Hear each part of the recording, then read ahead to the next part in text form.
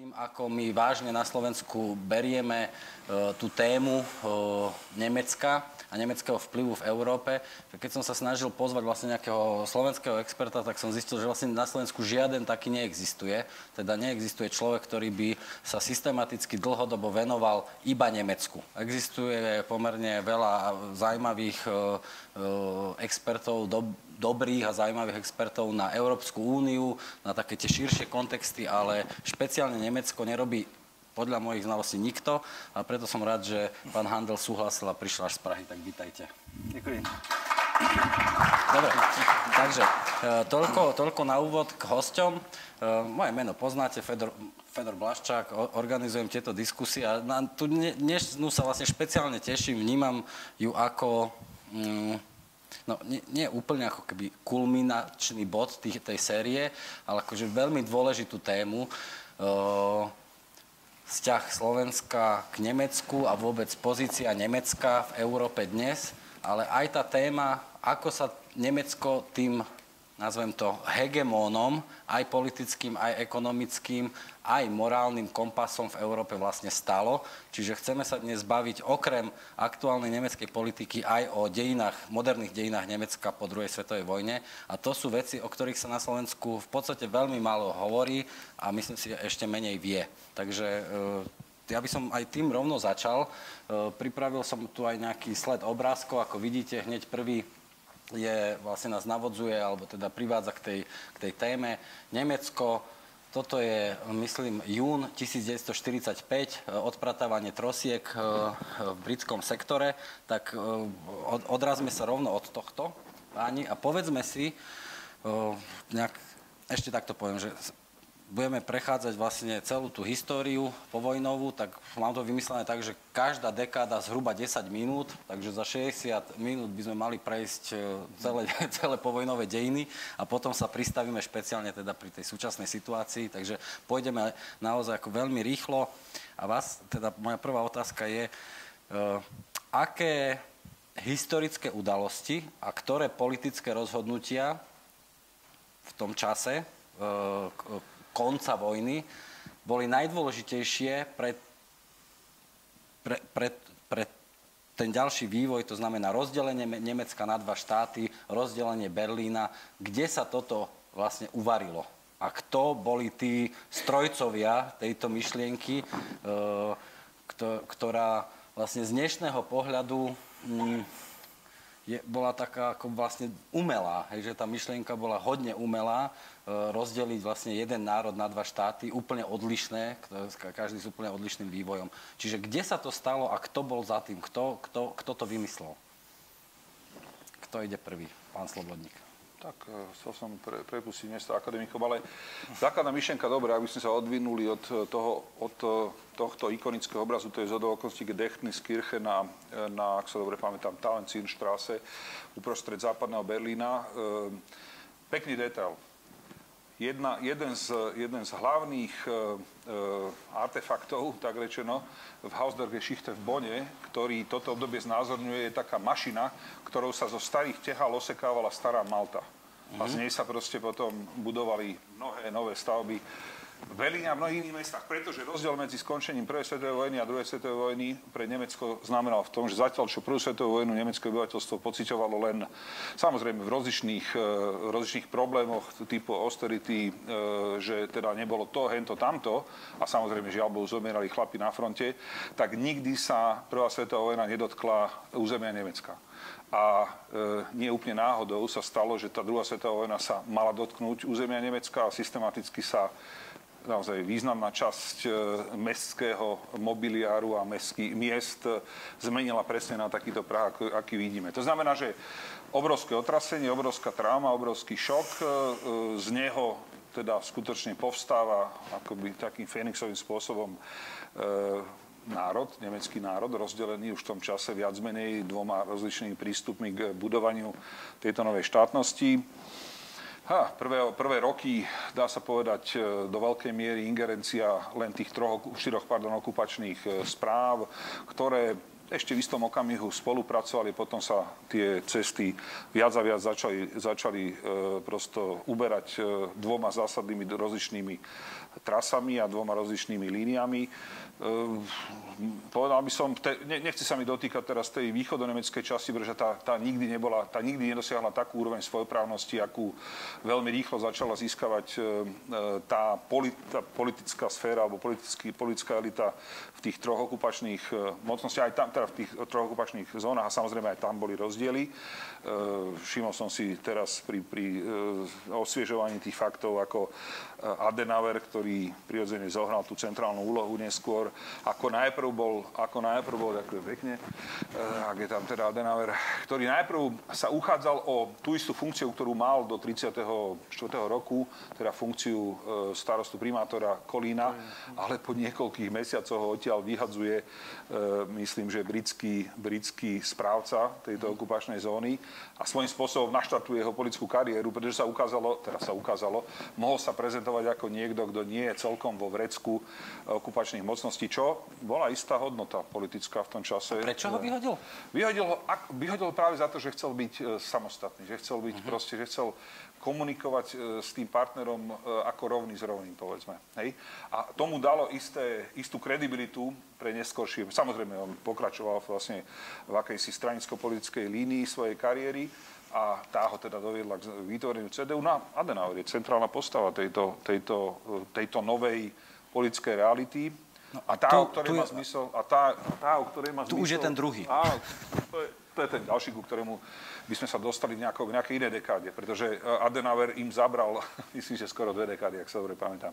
V každom prípade toto je, e, toto je, e, toto je ten, ten muž, muž číslo jedna, toto je tá postava číslo jedna a od nej sa začína potom odvíjať, hovorím, istá, isté znovu zrodenie nemeckého národa, politického národa v tej časti, kde, kde teda mu bolo dopriaté sa nejakým organickým spôsobom vyvíjať. Tá druhá časť nestojí za veľa, pretože nakoniec to je naša spoločná s Nemeckom, s východným Nemeckom spoločná skúsenosť a, a vieme dobre, že to nebolo svojprávne a že to nebolo, že to bolo len odvodené a že samozrejme sa to stávalo veľmi často hračkou v rukách e, sovietov, ktorí s tým hrali svoje vlastné hry voči západu a tak ďalej. To Čiže... sa chcem opýtať, akože, lebo ja som smerujem teraz k tomu, že či už v Jalte e, bola táto, táto koncepcia v hre, teda rozdelené krajiny. Že, že...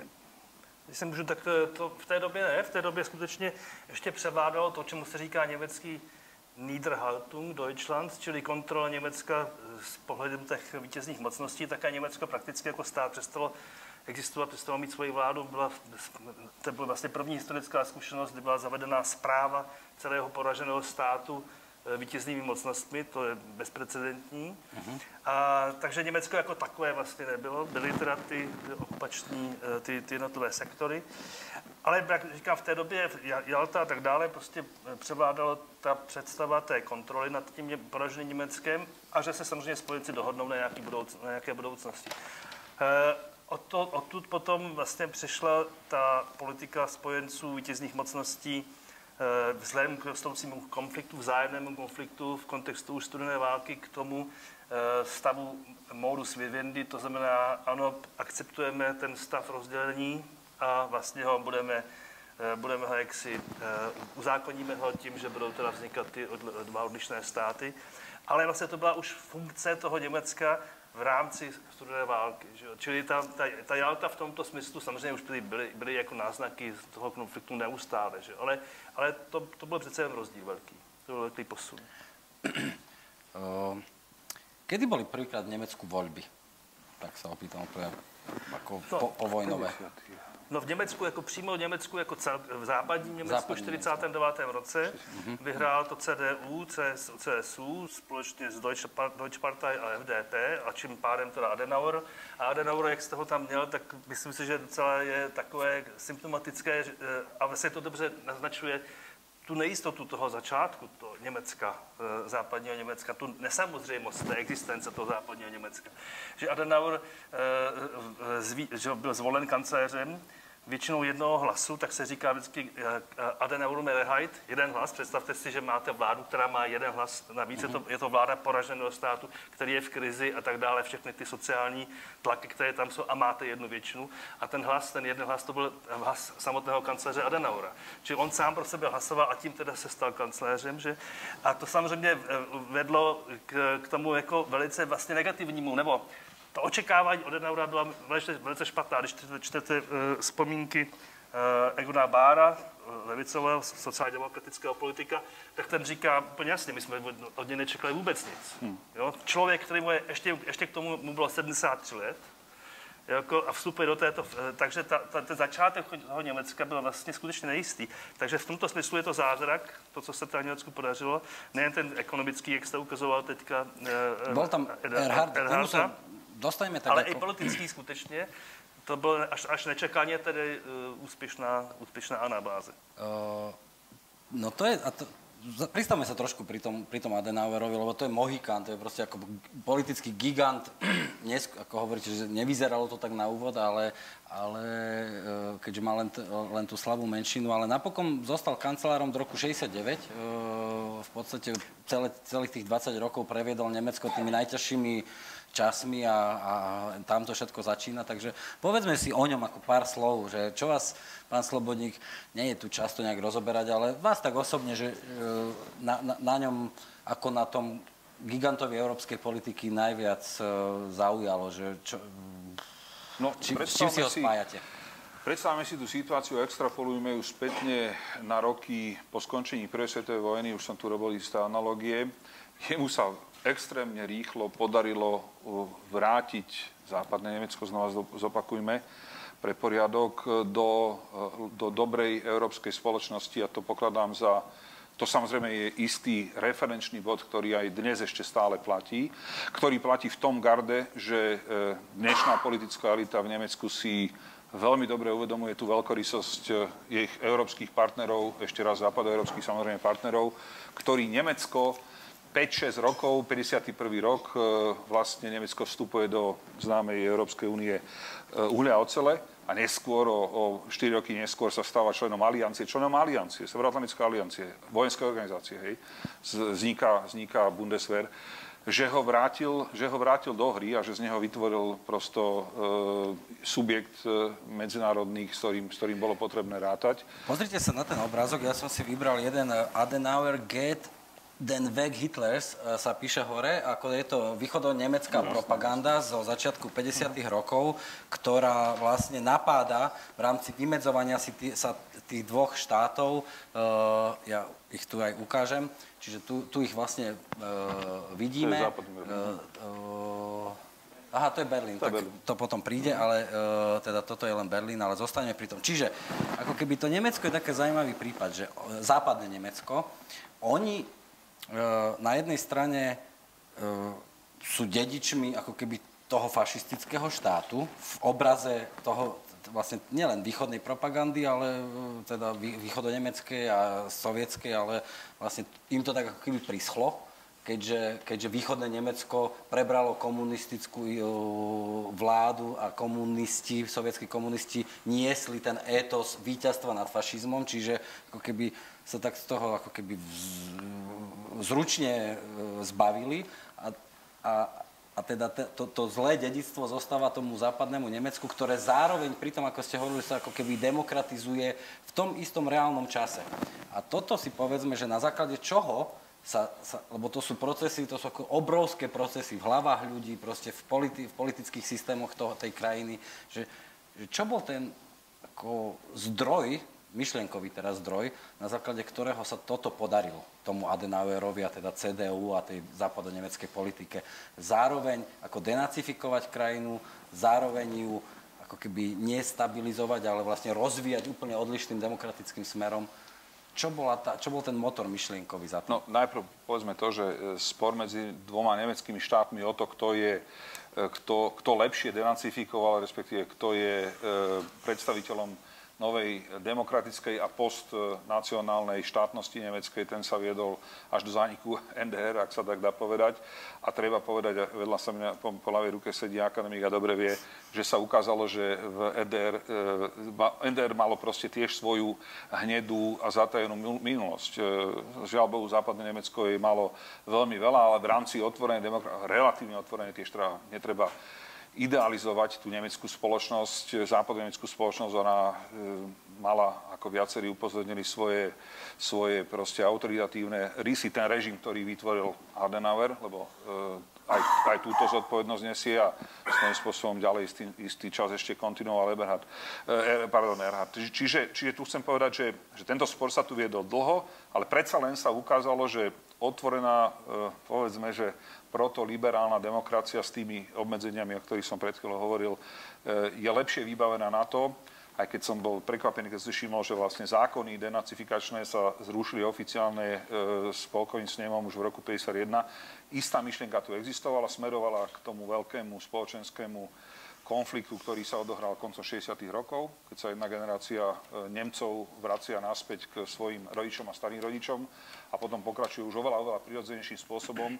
A na konci, na konci samozrejme, že tá západonemecká spoločnosť so všetkými svojimi konfliktami, ktoré nesela, bola zdravšou než tá východonemecká spoločnosť, aj pokiaľ ide o úroveň denacifikácie. Pretože v tom ideologickom, dogmatickom, veľmi rigoróznom prostredí východného Nemecka sa tá skutočná, sa skutočná odpútanie sa od a vyrovnanie sa s minulosťou, čo má aj v angličtine, ako vieme, svoj nemecký e, výraz, preto e, v anglický jazyk používa nemecký výraz. E, takže, takže toto všetko sa celkom prirodzene v, v type spoločnosti, ktorý sa postupne vytváral v západnej časti toho bývalého spoločného nemeckého štátu a budúceho nemeckého štátu, darilo lepšie. A čo bolo tým nosičom ideologicky, teraz tým nosičom, cez ktorý sa vlastne tá myšlienka obnovy národa, teda spoločnosti, ehm, vlastne cez ktoré sa predala, politicky predala. Ehm, čo, čo boli tie hodnoty, ku ktorým Adenauer zrazu, teda odrazu, te, aj počas povedzme tej volebnej kampane v roku 49, na ktor- ku ktorým sa on vzťahoval, na ktoré on, ktorými on vlastne inšpiroval tých Nemcov, že dobre, tak fašizmus zle, komunizmus nechceme, tak ako lebo vtedy ja si predstavím, že ten Nemec ako keby nevedel, že ako, tak, pres, tak presne rozmýšľal, že fašizmus zle, komunizmus nechcem a teraz skúsime tú demokraciu, alebo že doslova si tak nejak ako keby vyberal. E, a, a cez čo to ten Adenauer predal, že demokracia bude dobrá? Tak, predal to samozřejmě přes sociálně-ekonomický růst. Že? Mm-hmm. První heslo voleb 49 a všechny další volby byly především volby o sociálně-ekonomickém růstu. Obnovy, obnovy životní úrovně a tak dále. Čili vlastně ten uh, hospodářský zázrak, eh, to byl vlastně klíčový politický projekt. Eh, proto Adenauer velice rychle pochopil, že eh, Erhard, Ludwig Erhard se svojí koncepcí sociální Marktwirtschaft, sociální tržní hospodářství, že je ten klíčový člověk, akceptoval to, podplně se za to postavil, sám, sám Adenauer se ekonomikou nezabýval, mm-hmm. ale měl přesně jasný, jasný čich na to, že tady prostě přichází aktér, který zajistí tu, tu, ten hospodářský růst. Zároveň to byl eh, eh, přístup, eh, vlastně, který byl založený na silném právním státu a liberálních, liberálním přístupu právě k hospodářskému prostředí. Takže vlastně obrovská veliká volnost pro podnikatelské aktivity. Stát vlastně se stahuje z, po nacistické éře, která byla samozřejmě diktátorská a direktivní ekonomicky tak stát se, stát se stahuje, stát jenom vytváří eh, eh, institucionální a právní rámce pro volnou hru tržních sil, které jenom kontroluje přes, ty, přes sociální zákonodárství eh, postupně takzvané Mitbestimmung, čili vliv pracujících na na, na, na fungování podniků a tak dále. Vás nějaká samozpráva. Vy jste hovorili o tom stroji na stieranie tej omietky. Uh, na Sierane, áno, Malty. Malty, Malty v... čiže to bolo ako keby, že to je nuanca k tomu, že ako zle to s tými Nemcami bolo, že oni museli ako keby novú Maltu robiť zo nie, starej nie, nie, nie, nie. Získavali takto tehly. Takto, Aha, takým spôsobom. On hovorí, že je to veľmi pekný mm. e, predmet, múzejný, exibičný predmet v, v tomto e, vlastne v Centrálnom historickom múzeu e, moderných povojnových e, dejín Nemecka, ktoré je uprostred Bonu. Ale e, vrátim sa ešte k jednej veci, ako profesionálny krajinný diplomat poviem, že bolo veľmi dôležité podľa mňa pre, pre časť e, nemeckej spoločnosti, okrem toho socioekonomického, to je to brechtovské, teda, že to ide cez, cez, cez žalúdok, určite tam zohrávala svoju úlohu aj schopnosť Adenauera a jeho západných partnerov vyhnúť sa traume, ktorá Nemecko doviedla k 33. roku. To znamená modelu, v rámci ktorého víťaz bral všetko, hovorím o prvej svetovej vojne, a kde proste sa zdalo, že tá, no, kde sa samozrejme dá povedať, že Nemecko bolo za prvú svetovú vojnu trestané konzekventne až do, do, do drene kostí a vytvorilo isté podhubie, hovorím, pre, pre takúto reakciu, akú, akú sme žiaľ potom videli v rámci zvrhnutia sa, zvrhnutia sa toho politického systému. Čiže Adenauer od začiatku hral so svojimi e, západnými partnermi istú hru, kde vytváral väčší priestor pre... Hm, pre odpustenie. Priestor, ktorý je morálne diskutovateľný a ktorý je problematický, pretože prosto dnes sa spätne môžeme pozastaviť nad tým, že ľudia, ktorí mali byť potrestaní často aj hrdelnými e, teda e, najvyšším trestom boli, boli oslobodení, nie oslobodení, ale teda dostali, mali zmiernené tresty a tak ďalej, tak ďalej. Je tam tá známa, tá známa kauza, e, myslím, že to je von Neurath, ktorý sa vracia z, špandavského väzenia a oni ho proste vítajú pomaly ako hrdinu a, a tak ďalej, tak ďalej. Čiže to, toto tiež e, bola, bol, bol istý, istý spôsob, ako mm, zvrátiť sebavedomie v porazenej krajine a nezraziť ju na kolená a nenechať ju na kolenách, pretože tento druh víťazstva, hovorím ešte raz, by asi ťažko, myslím, to je to totálne víťazstvo, a totálna, totálna judikatúra výťazov, ona sa samozrejme prejavila v Norimbergu a inde, a, ale napriek tomu proste nebola, nebola taká absolútna, aby, uh-huh. aby vytvárala napätie. Ďalšie. Čiže vy hovoríte, že ako keby tie denacifikačné princípy to boli štyri, demilitarizácia, de... No, decentralizace, 4... demonopolizace a demokratizace. Tak, 4D. Uh, no. Čiže tie skončili v 51. Zákon, to, to, to, to, je něco jiného, to, trošku něco, no, to je trošku něco, ta denacifikace byla jako trošku, jako, tohle to bylo vlastně nové nastavení, že jo? to bylo právě ta kontrola těch vítězných mocností nad tím rozbitým Německem. Mm-hmm. Je ty čtyři principy, které se realizovaly spíš na té západní části, samozřejmě než na, na, na té východní. Denacifikace byla složitější v tom, že tu taky samozřejmě přinesli ty spojenci vítězný. E, proběhly samozřejmě Norimberský soud mezinárodní a potom další soudy už na základě práva těch okupačních mocností v jejich sektorech okupačních. Takže to proběhlo. A to, byla ta, to bylo jenom to protestání těch válečných zločinců, těch největších válečných zločinců. Že? Ale potom e, čištění té společnosti od, od nacismu bylo daleko složitější samozřejmě. A v podstatě moc jako úspěšné nebylo. A také, když se podíváme na Adenauera, to, pro Adenauera to nebyla žádná zvláštní priorita. Hmm. On přesně věděl, že když do toho teďka půjde, do, do těchto otázek, v NSDAP měla na konci války 8,5 milionů členů. Takže když teďka se budou řešit eh, aktivní nacisté, eh, tak jednak teda nikdo nezbyde, že v těch úřadech, někde to byly všechno kvalifikovaní lidi, kdo chtěl být inženýr někde na, mm-hmm. na mhm. fabrice, musel být nacista téměř. Že? Um, takže do toho nechtěl teda úplně jít eh, a navíc viděl, že ta společnost na to není připravená. Takže on, ehm, který samozřejmě neměl, neměl nacistickou minulost, naopak měl jako protinacistickou minulost, tak vlastně nebyl nějakým hybatelem eh, této... Té, té, té, nemal krvavé oči po... Vůbec ani ne, se to nedalo. A přesně věděl, že byl, byl strašně samozřejmě eh, zkušený politik, věděl, že tohle, bylo, tohle by tu společnost rozbilo. Kdyby se teď začala řešit takhle hluboce, mm-hmm. takže vlastně to skutečně trvalo 20 let a, a začalo se to řešit. Ani, ani Erhard to neotevřel 63. roce se stal kancléřem, ale vlastně až teda v těch 60. letech a 68. jak říkal pan Slobodník, to byla vlastně ta revoluce. Eh, Berlínsky múr sa stavia v roku 61. Eh, mm, eh, to je ako keby koniec nejakej, nejakej akože milník v, v, vo vývoji tých vzťahov medzi východným a západným Nemeckom čomu vlastne dochádza? Čo, čo sa vtedy zlomilo vlastne v tom, v tom 60. 61. roku?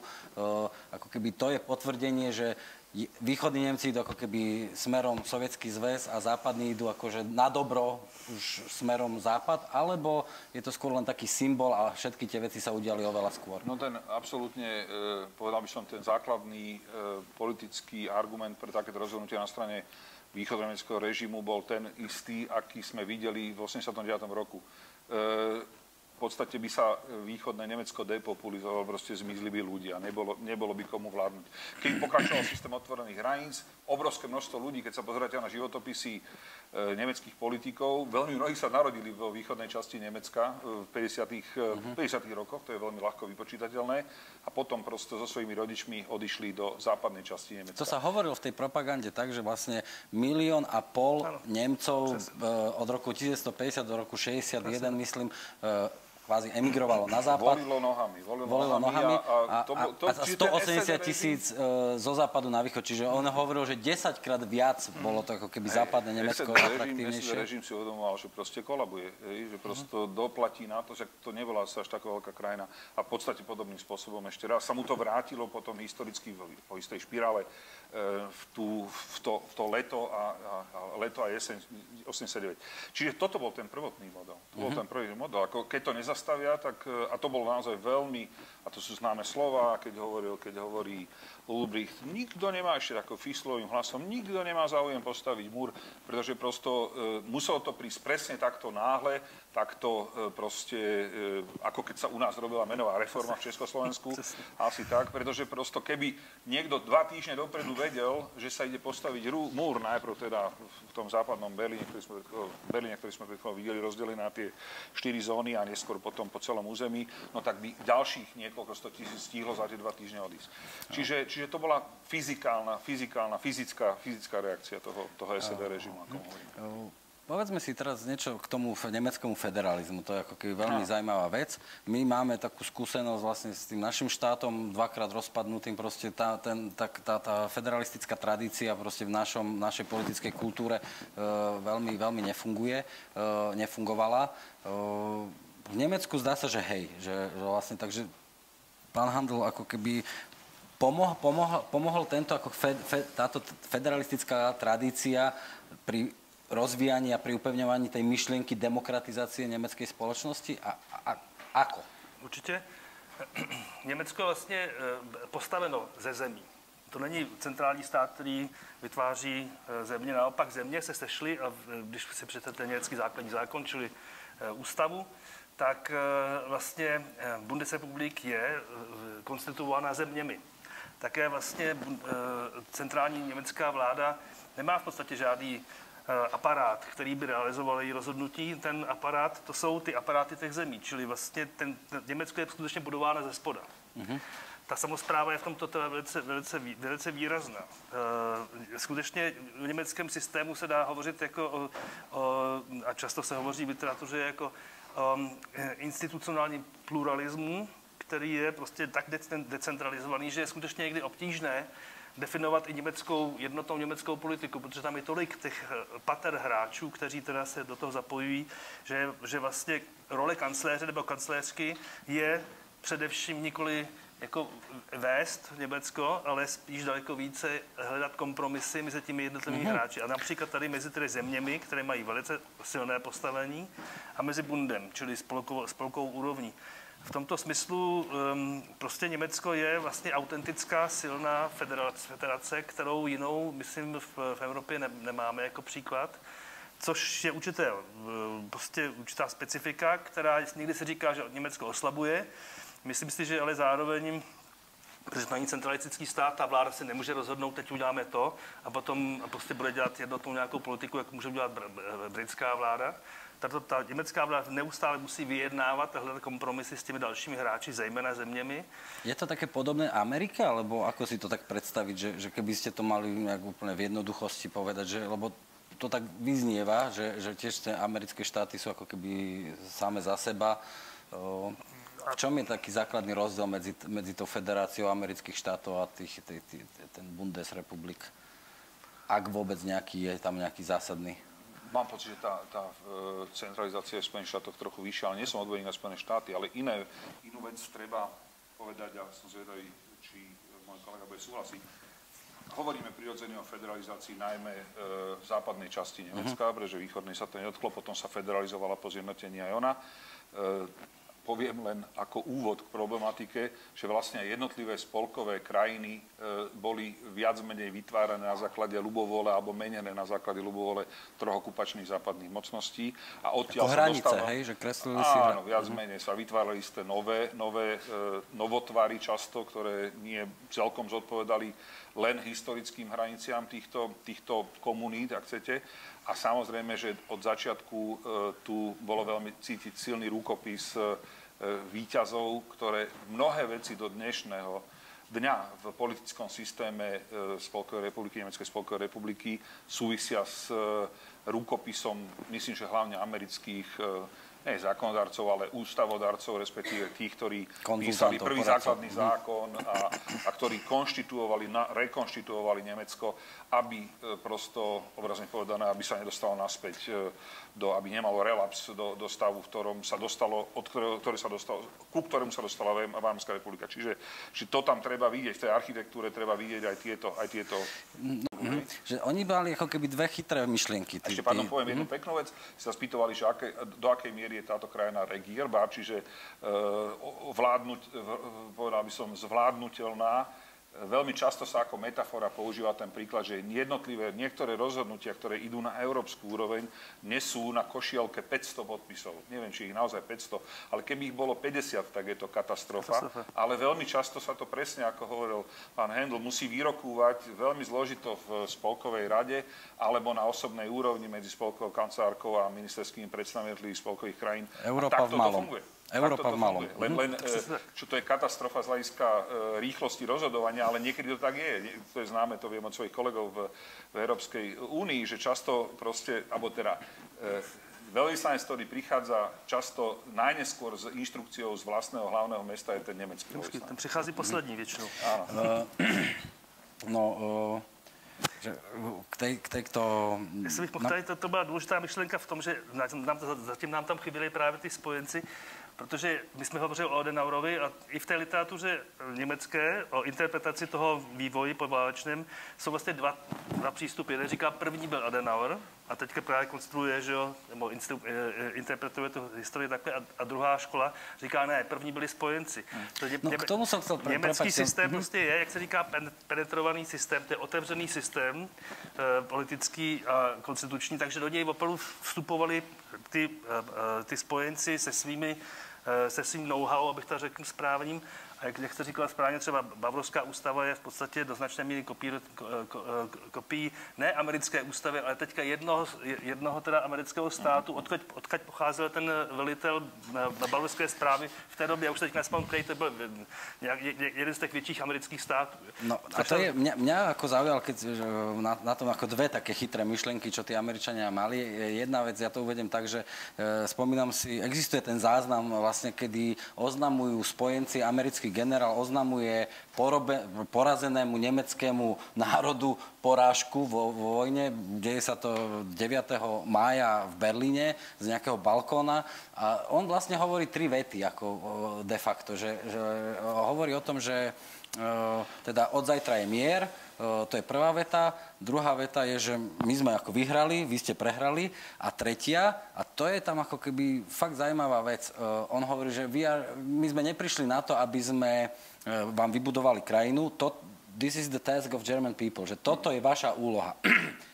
A ono to tak ako keby vyzerá, že on ako neklamal, že nebola to len také ako keby, že, že, že sa to slúši povedať, ale v, tej, v, tom, v tom procese prinášajú dve myšlienky, ktoré boli veľmi chytré. Jedna je vlastne tá zmena vzdelávania a zavedenie toho predmetu politische Bildung do, do, do stredných škôl. Teda oni pochopili, že dobre, starú generáciu už nech, nechytíme, to sú proste tí starí nacisti, ale že mladí, proste deti, musíme deti naučiť a, a, a, a, a dostať im to doslova do hlav.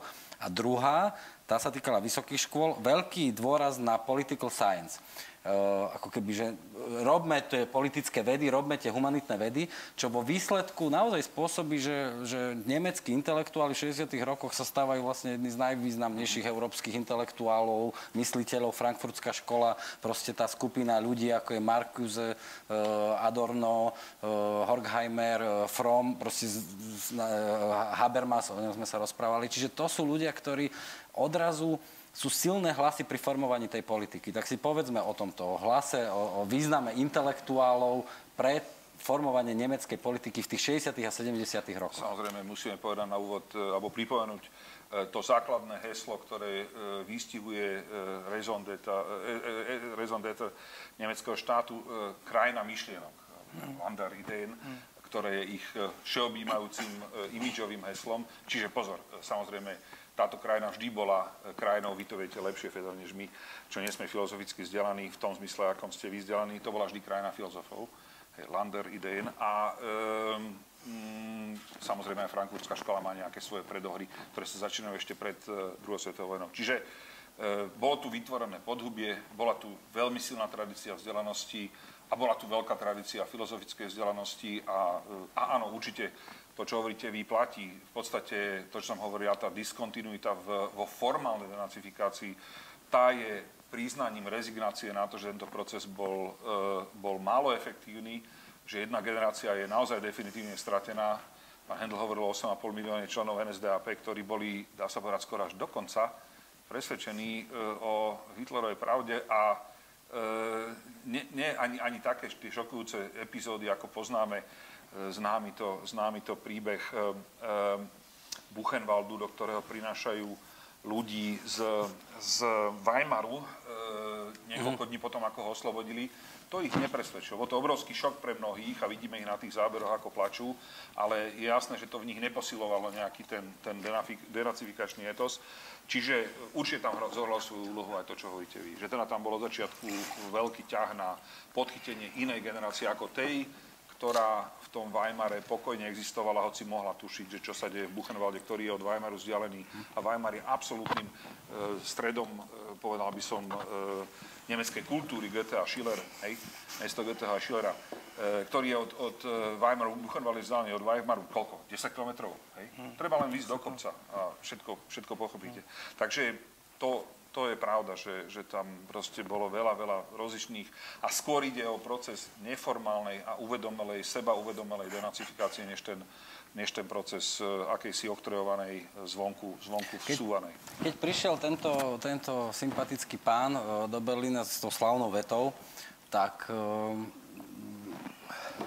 tak jednak ako milión ľudí tomu tlieskalo a, a, a tak ďalej, že to bola ako veľká, veľká vec e, v, to, v tom čase, ale e, to, mierim teda, poďme k tým 60. rokom, že posuníme sa ďalej ku koncu, že teda mám, začína nám tu v tom, e, ako keby Adenauer stále vládne, e, svet e, Nemecku západnému ako keby ho prijal, tlieska mu, Kennedy potvrdzuje to tou vetou, ja som Berlínčan, Berlínčan, e, Čiže tá, tá, ten zápas o takú tú demokratickú identitu vyzerá byť ako vybojovaný, aspoň ten, ten, ten, ten, tá hlavná, hlavná jeho časť toho zápasu.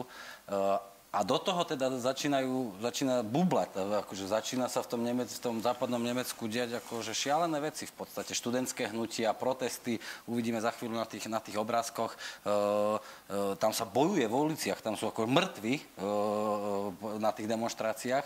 Takže povedzme si, že čo, čoho to, toto, tento, tento medzigeneračný konflikt, e, vlastne čo, čoho je prejavom, alebo čo on symbolizuje v, e, pre vás? Ako vy tomu rozumiete tým, tým, tým vlastne študentským nepokojom a, a všetkým tým uh, násilnostiam, tomu, tomu ťažkému súboju? Tam prostě to Německo se uh, rekonstituovalo jako úspěšný právní stát, úspěšný hospodářský Eh, stát, eh, ovšem eh, jako žitá demokracie příliš ne v té době ještě, proto vlastně tam ten stát byl relativně autoritářský.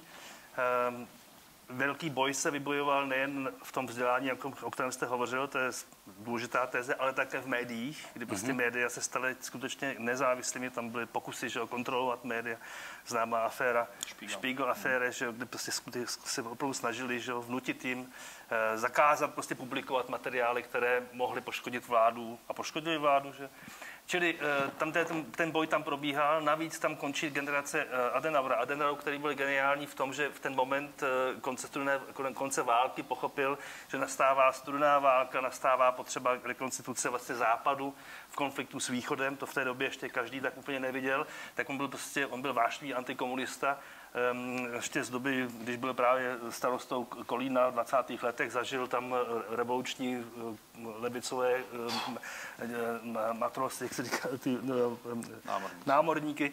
Takže mm-hmm. prostě tam se, tam se úplně od, od, odříznul od komunistického jaksi hnutí a ne, po, považoval ho za, za, tak, prepáčte, ale...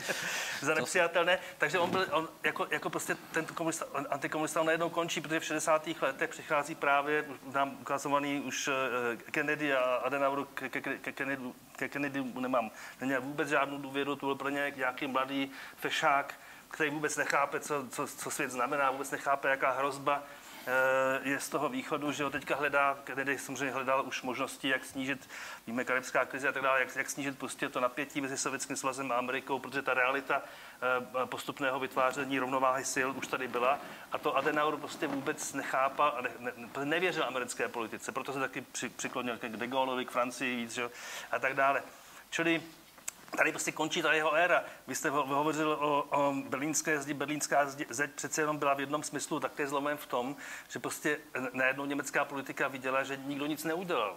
Oni postavili tu zeď a všechny ty garance, jako že budeme pomáhat, budeme pomáhat, se nikdo nic udělat, no protože nemohl nikdo nic udělat. A tam to, to, treba len pripomenúť to, že keď sme pred chvíľočkou videli Kennedyho, Kennedy prichádza do Berlína v úvode júla a o niekoľko týždňov, 13. V auguste. augusta 61 vzniká, teraz začína sa zakladať e, po celom západnom Berlíne e, táto, táto, táto, teda Berlínský múr zeď po česky, hej. A já chci jenom říct, že, že Willy Brandt, který v té době byl starostou západního Berlína, Tu sú všetci traja, Tak, inak mimochodom, Tak to nej ešte to- tam to ukážeme, že tu je vlastne... Tak, to je ono. A to byl, Adenauer byl zcela zrcen, ne, ne- nemohl udělat nic, ani se tomu moc se nevyjadřoval. Eh, Kennedy to neřešil, protože nemohl to řešit a Willy Brandt řekl, a končíme s touhletou politikou, Mhm. nebudeme čekat, až se dohodnou ty velmoci, nebo až Západ něco udělá. Musíme začít eh, politikou malých kroků, začneme my sami budovat ten vztah s tím, s tím takže on začal vyjednávat s východním Berlínem o prvních smlouvách a tak dále. A potom z toho byla ta jeho Ostpolitik, či východní politika, smlouva se smlouvy, že se sovětským svazem a tak dále. Či v tomto smyslu tam jste měl prav- pravdu, že ten 61. byl to určitým zlomem, protože vlastně eh, ano, prostě už konec, konec s tím čekáním. Musíme to dělat sami, musíme to dělat prostě aktivní politikou, musíme hledat možnosti, jak snížit ten, ten konflikt.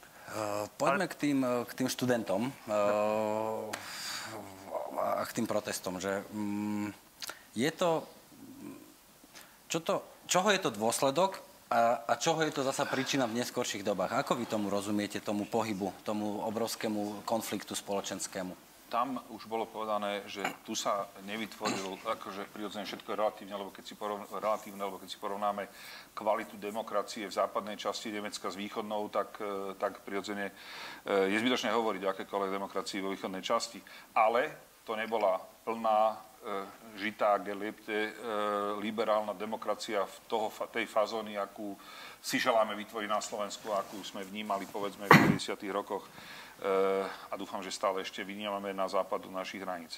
Alebo dobre, v dnešnom Nemecku, aby som nechodil nikam ďaleko po príklady. Eh, Čiže, čiže áno, tam proste doznieva isté, istý Adenauerovský režim eh, vyčerpal svoj potenciál, pripojilo sa k tomu na pocit, ktorý nebol úplne neodôvodnený, pocit tejto novej generácie mladých ľudí, radikálnych, ako sa to patrí a slúši na mladých ľudí, že ich otcovia a starí otcovia boli súčasťou napríklad Wehrmachtu, lebo to bola masová vojenská organizácia, ktorá nebola až taká e, s nepoškvrneným e, límcom a s nepoškvrnenou vestou, ako by sa zdalo. E, a tak ďalej. Proste celá táto téma vyrovnávania sa s minulosťou vtedy prichádza ako problém od spodu. A proste všetky tieto tendencie sa, sa koncom 60. rokov naakumulovali a viedli v mojom vnímaní, ja som mal 6 rokov, takže samozrejme to vnímam len cez literatúru, ale viedli vlastne k takému nejakému e, zdvihu, ktorý prirodzene sme nevideli len v nemeckých mestách, ale videli sme ich aj vo francúzských mestách.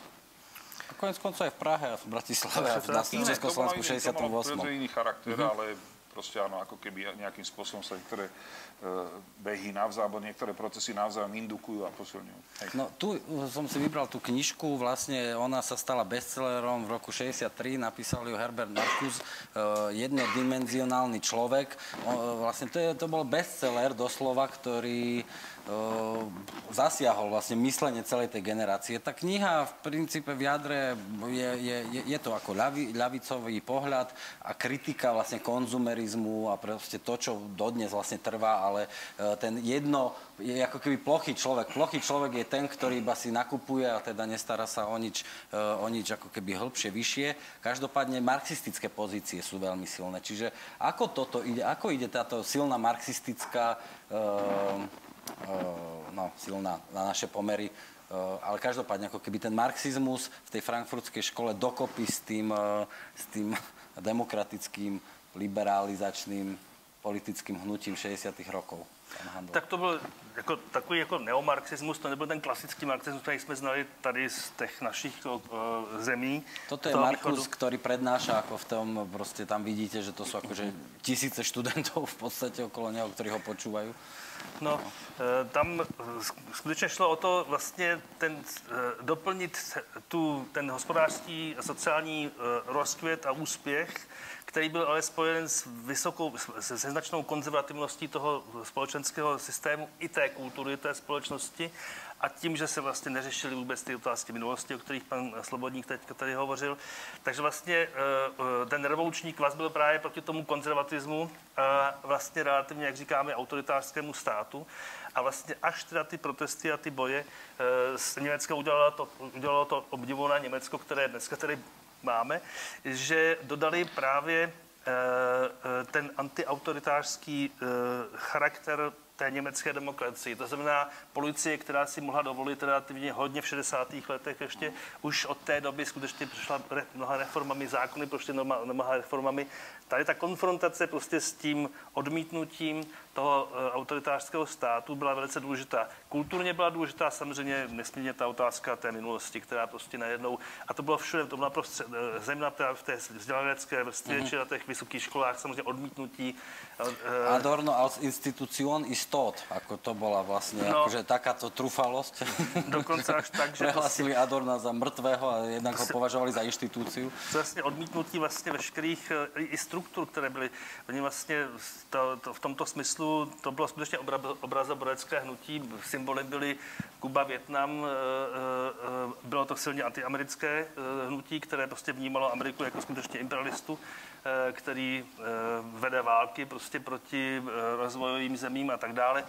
Bylo to velice silně anti-izraelské hnutí, ne protižidovské, mm-hmm. ale anti. Poprvé se začíná vlastně vracet ta otázka eh, jaksi politiky teda eh, eh, izraelského státu jako vlastně nového imperialistického státu. Či bylo to silné vymezení vůči těm autoritářským nebo i silovým E, silovým politikám. Ako vy vnímate tú vec, že, e, lebo jednak samozrejme to hnutie, ja tu premietam obrázky, toto je konkrétne ten Adorno, starý pán, ktorý tu diskutuje so študentmi, toto je slávna scéna, to je tzv. prsný protest proti Adornovi, kde sa vlastne tie študentky ako vyzliekali a to on už vôbec nepochopil, v podstate nad tým sa rozhorčoval a myslím, že aj navrhoval nejak ako vyhodiť zo školy a tak. Uh, ale uh, a to sa mi zdalo ako zaujímavá myšlienka, niekde som o tom čítal, že vlastne tie protesty, ktoré na jednej strane viedli ako KRAF, teda k Rote Armie Frakciona, teda do, a zdegenerovali teda do tých, do tých výbuchov, únosov a teda toho otvoreného boja s uh, establishmentom uh, na strane, teda zo strany tých mladých uh, aktivistov.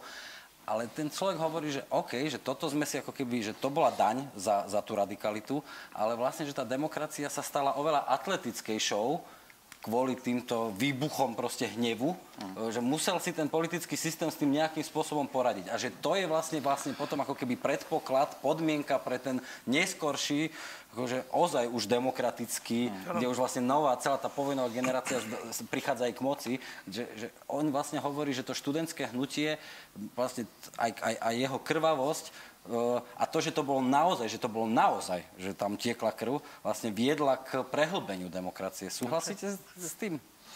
Asi, asi bola nevyhnutná v rámci, mm. hovorím, z tej, z tej stagnácie. Mm. Bola, proste Adenauer bol potrebný na, na uh, konkrétne dobo, na, konkrétne, na konkrétnu konkrétny úsek e, moderných e, nemeckých povojnových dejín v istom okamihu, ako som hovoril, vyčerpal jeho režim, úvodzovká režim, svoj potenciál. Platí to, čo hovoríte vy, je to vlastne veľmi aj personálne spojené s osobou Willyho Branta, ktorý v istom okamihu hovorí, Teraz by sme si už mohli dovoliť e, e, skúsiť trochu viacej demokracie. To je, to je veta, ktorá je okrídlená, ktorá do dnešného, ži, do dnešného dňa žije v politickej parlance, v politickom Ein mehr akože? Aj, ein, ein bisschen mehr, ne, ne, ne, demokratí vágen. Je to proste to, táto, toto spojenie. Čiže, čiže áno, dochádza k niečomu, čo si môžem nazvať brantovský režim, kde fakt sa tie základné inštitúty občianskej spoločnosti dobudúvajú veľmi silná úloha médií. E, už to nie je ten kancelár samovládca, ktorý, e, ktorý, v ktorého rukách sa ministri e, menia len na vykonávateľov jeho vôle. Už to je presne ten kancelár, ktorý proste e, musí prechádzať s tým ekvilibristickým postupom vnútri s väčšinou, väčšinou teda koaličných vlád, ne väčšinou, koaličných hmm, vlád, to je povedať. Všetky boli koaličné, len v rozličných kompozíciách ano, ano. a zároveň proste musí samozrejme robiť aj tú ekvilibristiku voči, voči ministerským predsedom, ktorí veľmi často prichádzajú z úplne inej e, strany, majú úplne iné stranické pozadie, ako, ako má Centrum, ako má Bund, ako má e, Bonn v tom čase, mm, prirodzene, ako mm. hlavné mesto. Čiže e, áno, začína sa v 70. rokoch istá, istá nová, nová etapa v živote Spolkovej republiky. Uh, Willy Brandt a Hans-Dietrich Genscher, nie? Tam už začína. Inak vy sa podobáte na Genschera. Děkuju, tak. To vám ešte nikto nepovedal? Ne, to ešte nikto neřekl. Ja vám to premietnem, aby z, naši, naši e, na, e, mám, mám ho tu niekde, lebo ja ho uh, mám veľmi rád, ako, ako chlapíka. Na, kalo, na to je on, pozrite sa, no nepodobá sa pán Handel na Degenšera. Ja som spíš úplne, ja som spíš úplne Kalovska. On je v Prahe, to Degenšer v Prahe. No jasne, on tam má dokonca pamätník, no, akože na tom veľvyslanectve. Čiže, no nič, ale poďme k tomuto Ostpolitik a Brantovi, lebo to sú pre mňa naozaj takí tí taký, e, ako vy hovoríte, že ja osobne, že Adenauer to je ako keby stará škola, starý svet a že vlastne až Willy Brandt a Hans-Dietrich Genscher prinášajú naozaj ako takú tú autentickú vlastnú nejakú geopolitickú myšlenku. Tá myšlenka dostala ten názov Ostpolitik, tak si povedzme, no, my sme tu jednu diskusiu, my sme začali celú tú sériu vlastne debatov o 70 rokoch, čiže my, bol tu pán Marušiak a pani Zavacka, diskutovali sme o, o Helsinskom dohovore. A teda o tom, o tej dekáde 70 rokov, ako o dekáde, v ktorej sa stretáva, to je mimochodom téza Timothy Snydera, že to je najzajímavejšia dekáda vlastne pre, naše, pre našu súčasnosť, sú 70. roky, lebo v nich e, sa odohráva ten súboj dvoch integračných projektov, sovietského a, a európskeho, Čiže, a Nemci sa stávajú vlastne motorom tej európskej integrácie mm. v tom čase a zároveň teda prichádzajú s tým, s tým takým ako ostpolitik. Čiže e, krok suň krok, približovanie sa, vlastne nemôžeme ten východ ignorovať, musíme ne, nejak s ním ako keby spolu žiť. Čiže čo to boli dvaja, títo dvaja páni, hlavne teda uh, Willy Brandt uh, za, za politickí lídry? Mm, tak... Čo, čo, ich tak najlep, najlepšie vystihuje? Čím najviac vás inšpirujú osobne? Povedzte, možno vy najskôr, pán Slobodník. O inšpiráciu nejde, ale treba povedať, samozrejme, že môžeme, to sa volá Neue Ostpolitik a môžeme e, sa tu dlho, dlho motať okolo tohto termínu a hovoriť, áno, táto táto, tá, tento, toto sme Wandel durch uh, uh, Annäherung a tak ďalej, potom neskôr aj viacej. Wandel durch Handel, áno, čiže zmena cez, zmena cez zbližovanie, cez, okay. cez rapprochement, aby som použil francúzske meno, francúzsky pojem. Čiže toto všetko, môžeme sa okolo toho tržiť, ale treba povedať trošku polemicky hneď na úvod, že to istým spôsobom legitimizovalo režimy v Polsku, režimy v Československu, náš režim, hej. E, režim, ktorý v tom čase už naozaj bol, to už bol režim e, normalizačný, hej, v 70, po 70 rokoch, e, po 70 roku, ak chcete presnejšie. E, režimy v Maďarsku, to sú presne tie krajiny, s ktorými, a režim vo východnom Nemecku, aby som na ňo nezabudol, v DDR, e, to, boli, to, boli, to boli odiózne režimy. To boli všetko odiózne režimy a tento, proste ešte raz používam tento príklad len preto, aby som napríklad vám e, pripomenul to, že e, polský disent vtedy extrémne odsúdil nemecké politické vedenie za to, že uzatvára nejakú zmluvu s týmto zločineckým režimom v Polskej ľudovej republike. Hej? To tiež treba, to tiež treba ako si e, pripomenúť na úvod diskusie k novej ostpolitík, k novej východnej politike, e, ktorý, ktorého veľký predstaviteľ Egon Bar zomrel vlastne pred niekoľkými mesiacmi. Čiže e, to, to, je, to je odvratená strana ostpolitík. Hej? Hej, ale historicky sa to ukázalo ako... Áno, áno, jasne. To je tá jedna myšlenková, tá interpretačná škola je, že cez tento druh e, zbližovania, a ja poviem ako aktualizačný prvok veľmi zaujímavý detail, ktorý som netušil, že novým takým zápalom, s novým takým zápalom presne Genscher prichádza koncom, e, koncom 80. rokov, keď sa vytvárajú aj trochu umelo často takéto dvojičky medzi, e, medzi to, že vždy existovali dvojičky medzi západno-nemeckými mestami a východonemeckými, to je, to je dlhodobá prax, ale on prichádza s tou politikou e, spoje, nie spojenstiev, ale družobných miest, miest, partnerských miest medzi, medzi západo-nemeckými partnerskými mestami a, a východonemeckými a odtiaľ vlastne prichádza Wuppertal a Košica a odtiaľ prichádza podstatne podstatne menej známa, známa dvojica družobných miest e, Brémy, e, Bratislava, to už nikto skoro nespomenie.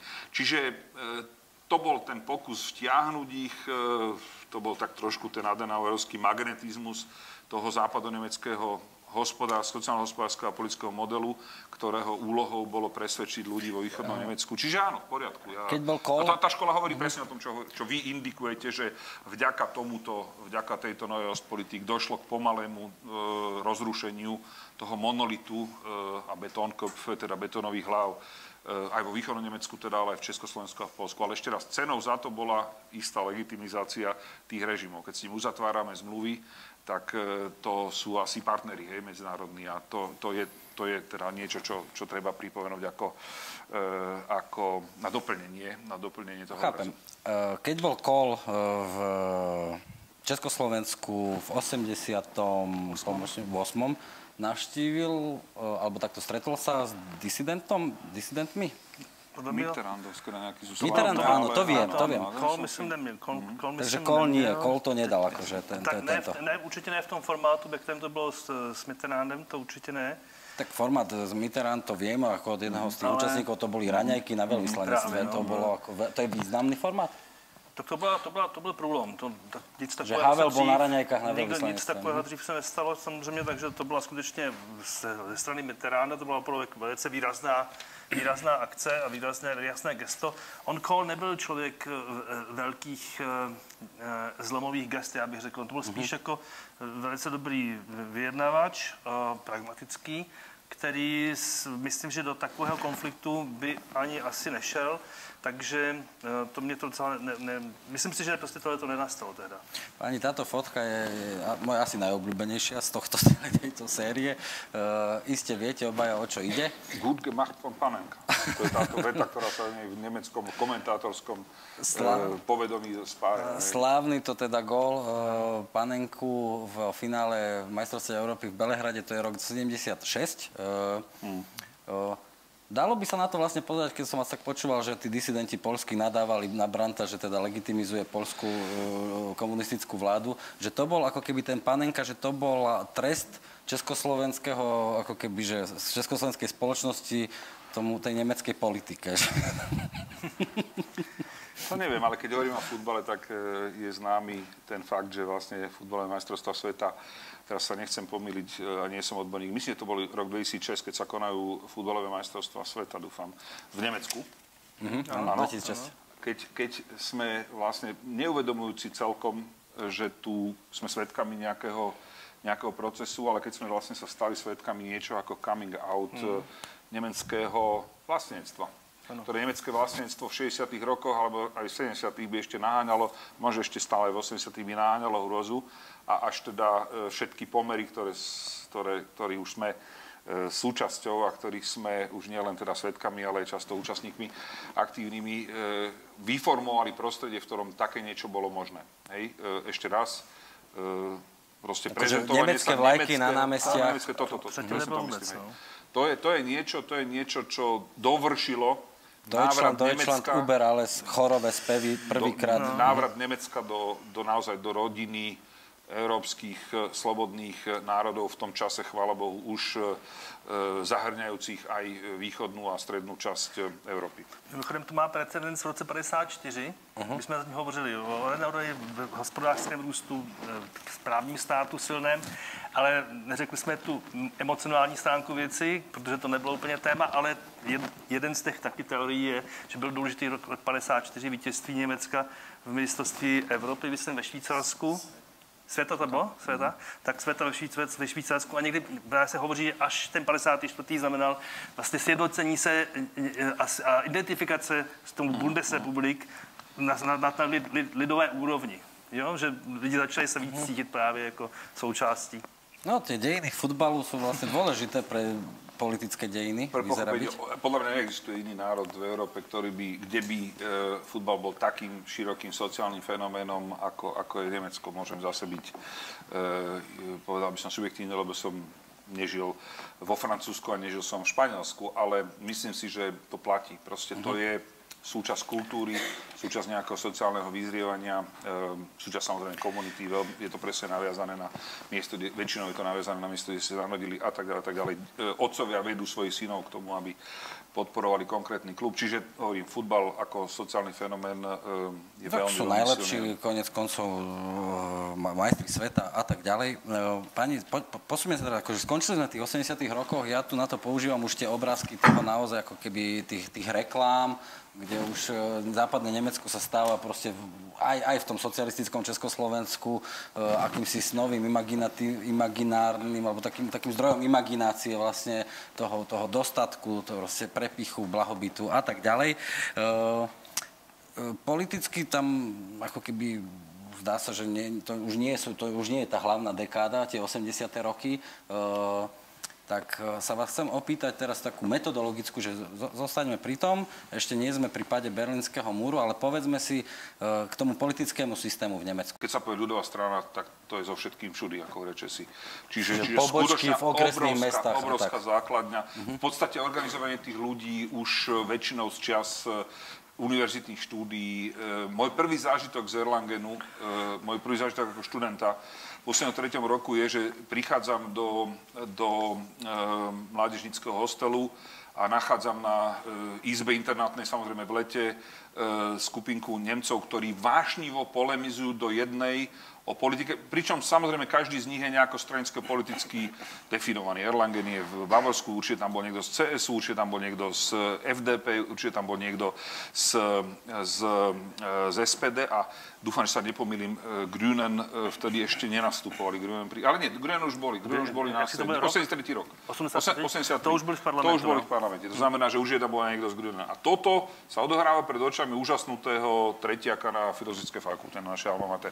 Čiže, Čiže v tomto zmysle veľmi e, silne politicky gramotná a vyspelá západonemecká spoločnosť, ktorá... A je to tým politische Bildung, tým predmetom, ktorý oni majú v školách? Že to je politická výchova pre, pre, pre vás, aby ste rozumeli, že pol, Nemci majú v rámci kurikul e, základných a stredných škôl, tento pre, myslím, predmet je len na stredných školách, e, politická výchova, do kto, e, ktorých obsah vlastne tvoria tie politické strany. Že politické uh-huh. strany majú svoje think tanky, tie vyrábajú učebnice, tie učebnice sa distribujú na školy a podľa tých, tie školy si ako keby vyberajú, tí učiteľia si vyberajú. Čiže je podľa vás za tým práve táto, táto tradícia politické výchovy?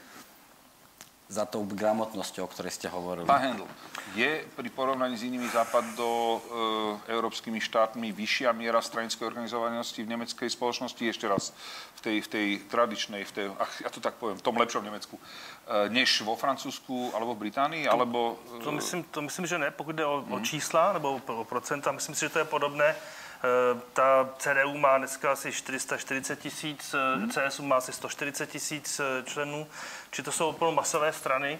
Eh, ale to, ta eh, Labour Party eh, v podstatě teďka už nepamatuju, kolik přesně má, teda, ale, ale ta taky je prostě masová strana mm-hmm. na Pričom ty krajiny jsou viac menej porovnateľné. Podobné zhruba, socialisté, zhruba. socialisté ve Francii mm-hmm. taky. To bych řekl, že ani tak možná ne.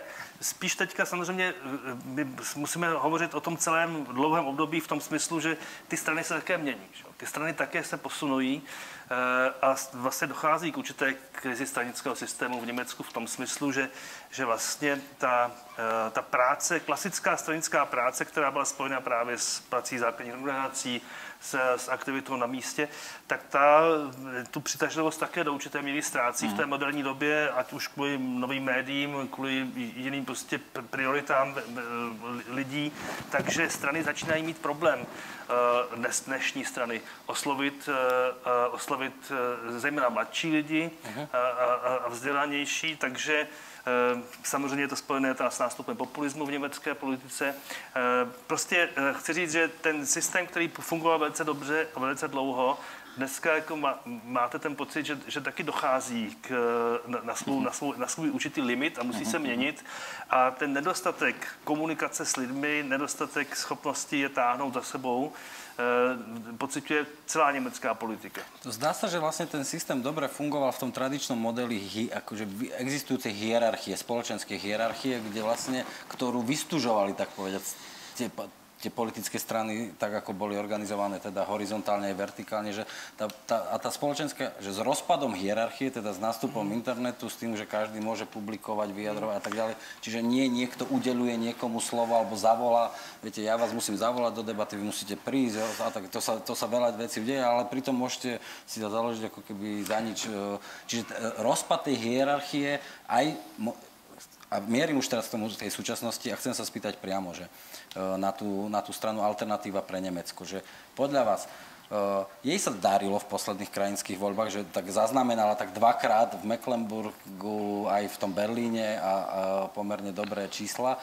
Je toto naozaj ohrozením pre nemeckú demokraciu? Že je alternatíva pre Nemecko s celým tým anti-EU, anti-EU, anti-imigrant, proste s tým populistickým a, šo, a xenofóbnym uh, ideologickým nánosom ako reálnym ohrozením nemeckej demokracie?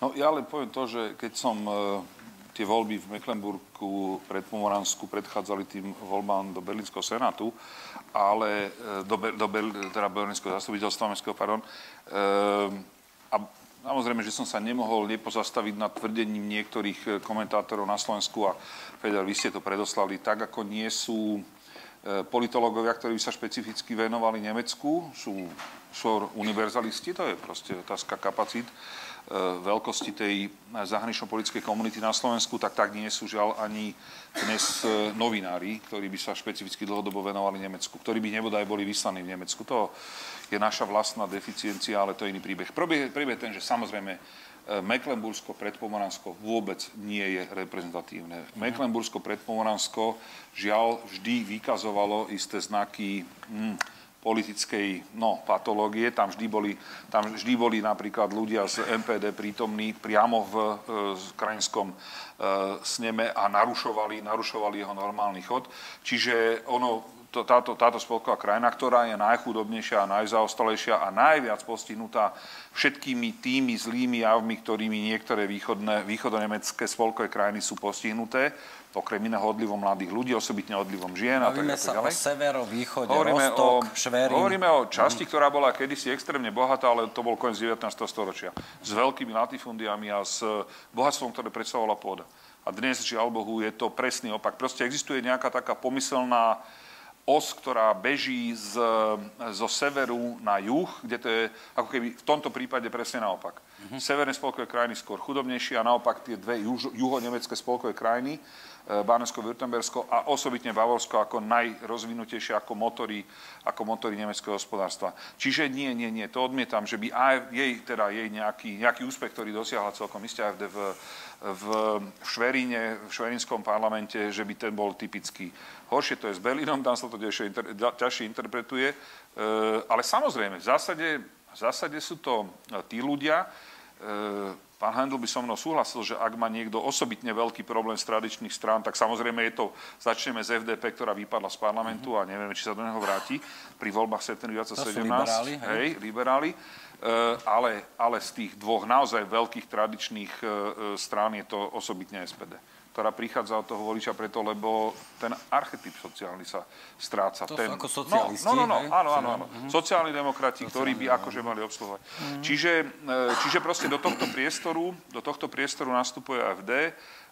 No a, a prosto vnímame ho prirodzene v, nie v korácii, ale v analogicky alebo v paralelizme k mnohým iným stranám tohto, tohto typu No, aj na Slovensku však. Mm-hmm. Takže aby som zase ne, nepozeral sa na e, Európu, mm-hmm. a Európsku a členské štáty Európskej únie len s nejakým takým Tak to porovnajme. Tak to rovno porovnajme, že podľa vás ako AFD e, je niečo... Dobre, máme Kotlebovcov u nás, e, plus e, ako keby ich e, spriaznených, e, e, že v iných stranách ľudí, ale ako keby v parlamente. E, a máme to AFD v Nemecku, že je to... Lebo je to plus minus rovnaké, alebo je AFD viac mainstream, alebo, je, je, alebo sú, sú tie staré strany, že ostrakizujú tu AFD? Ak, ako sa teraz tam ako keby hľadajú tie pozičné, ako prebiehajú tie pozičné hry dnes v, tom nemecké, v tej nemeckej politike? Že, čo s tou AFD? Já bych začal ještě trošku meteorologicky jinde v tom, že to je vlastně reakce AFD, stejně jako to, o čem jsme hovořili, určité vyčerpání politických stran. Uh-huh.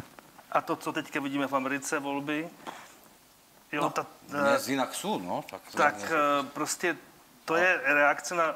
Volí, před, především, ano.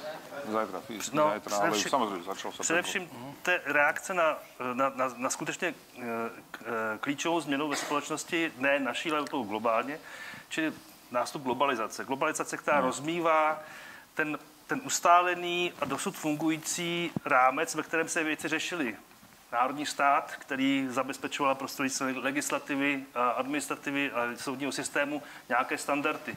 Dneska, když, si, když funguje globalizace, která funguje přes otevření hranic, tak vlastně ten národní stát už nemůže garantovat eh, to, co dřív eh, mohl garantovat svým dělníkům a tak dále všem. Tohle to prostě už skončilo. Čili musí se vyjednávat na úplně jiné úrovni. To je, či ta, prostě ten sociálně ekonomický dopad globalizace je ten, že ten stát přestává být prostě dostatečně silný a funkční, aby zajišťoval. Za druhé, je tady ta technologická otázka. Samozřejmě propojení že jo, technologické napříč světem, jak informačně, tak finančně, že prostě ty toky, ty, ty, ten, ta dynamika těch změn je prostě dneska měřená e, e, sekundami, což dřív prostě byly procesy, o kterých bylo možné jednat, mohlo, mohlo se na ně pře, přepra, připravit a tak dále. Čili, ten, čili ta znejistění té společnosti pod tím úžasným, neuvěřitelným tlakem a rychlostí té globalizace prostě vede k tomu, že ty strany najednou těm svým uh, klientům Eh, nemůžou úplně zajistit to, co jim zajistili před 30 lety. Takže oni na to nedosáhnou už. A do toho vstupuje samozřejmě dvojí reakce. Jedna, která ta právě ta sociálně naštvaná, tak prostě nám vzali, že jo, tam oceláři prostě v Pittsburghu a tak dále, sebrali nám práci, Číňani, tak prostě půjdeme s Trumpem, který říká, že, že, že to zase ten Číňanům vezme zpátky. U nás se to děje podobně, zase v jiných oborech. A druhá reakce je, ta národní, to znamená vrátíme se k tomu národnímu státu, to znamená ten nacionalismus, populistický nacionalismus, ne, že nutně uzavřeme hranice, ale ten jako make America great again a to máme v Německu taky, že jo, přesně. Musíme se vrátit k tomu, co jsme Němci, co nás tvoří jako Němce a musíme skutečně se, se hájit těm, těm všem tlakům. Symbolicky, a, a symbolicky... ideolo, ideologiou AFD je čo? Čo tam prevažuje?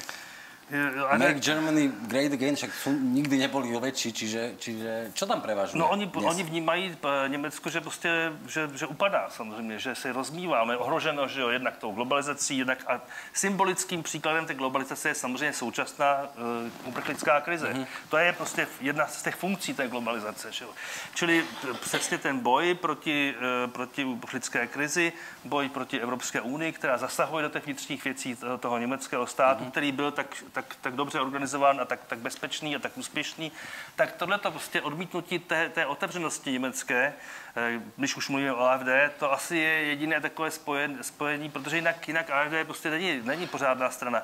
Ona nemá, ten, ten program je velice to je eklektický, zatím program je to spíš spojení mnoha proudů, kde jsou skutečně až teda pravicoví radikálové, po, po um, ekonomické neoliberály, kteří prostě um, odmítají euro a odmítají um, Evropskou unii v té fázi, v té formě, ve které dneska funguje. Či AFD jako jeden z jejich problémů je ten, že to není jako úplně jednotná strana, to není možné úplně ji, ji jasně, jasně definovat. Tu, tu len treba povedať, e, pre mňa teda za seba chcem povedať, chcem sám seba korigovať, aby to nevyzeralo tak, že, e, že medzi AFD a Kotlebovcami je nejaké rovnítko, pretože AFD je ešte predsa len e, politické hnutie, povedzme tak, s istou mierou sofistikovanosti, hej, a s istou mierou intelektu a s istou mierou aj politickej gramotnosti a tak, a tak ďalej. Hoci je ťažké uchopiteľné, je ťažko uchopiteľné, ale e, to sú veci, ktoré ťažko môžeme povedať Dobre, o, chápem, o LSNS. Mhm, chápem to tak, že aby, sme, aby sme neurážali. Aby, aby sme ako keby nezvýznamňovali tú tému, že, že proste každá krajina má nejaký svoj, nejaký svoj tak ako keby e, no, e, súčasnosti, ako to nazvať, iberácie, proste nejaké odchylky od toho, od toho štandardu, tak ako sme na ne boli zvyknutí a je na nich, ale že vlastne nie je to, nie, nie, nie je to proste tá jadrová vec pre tú nemeckú politiku, uh, stále nie. Uh, uh, k voľbám budúci rok prídeme, ale chcem sa v tejto chvíli opýtať na ako keby vážnu vec, váž, vá, vážne témy.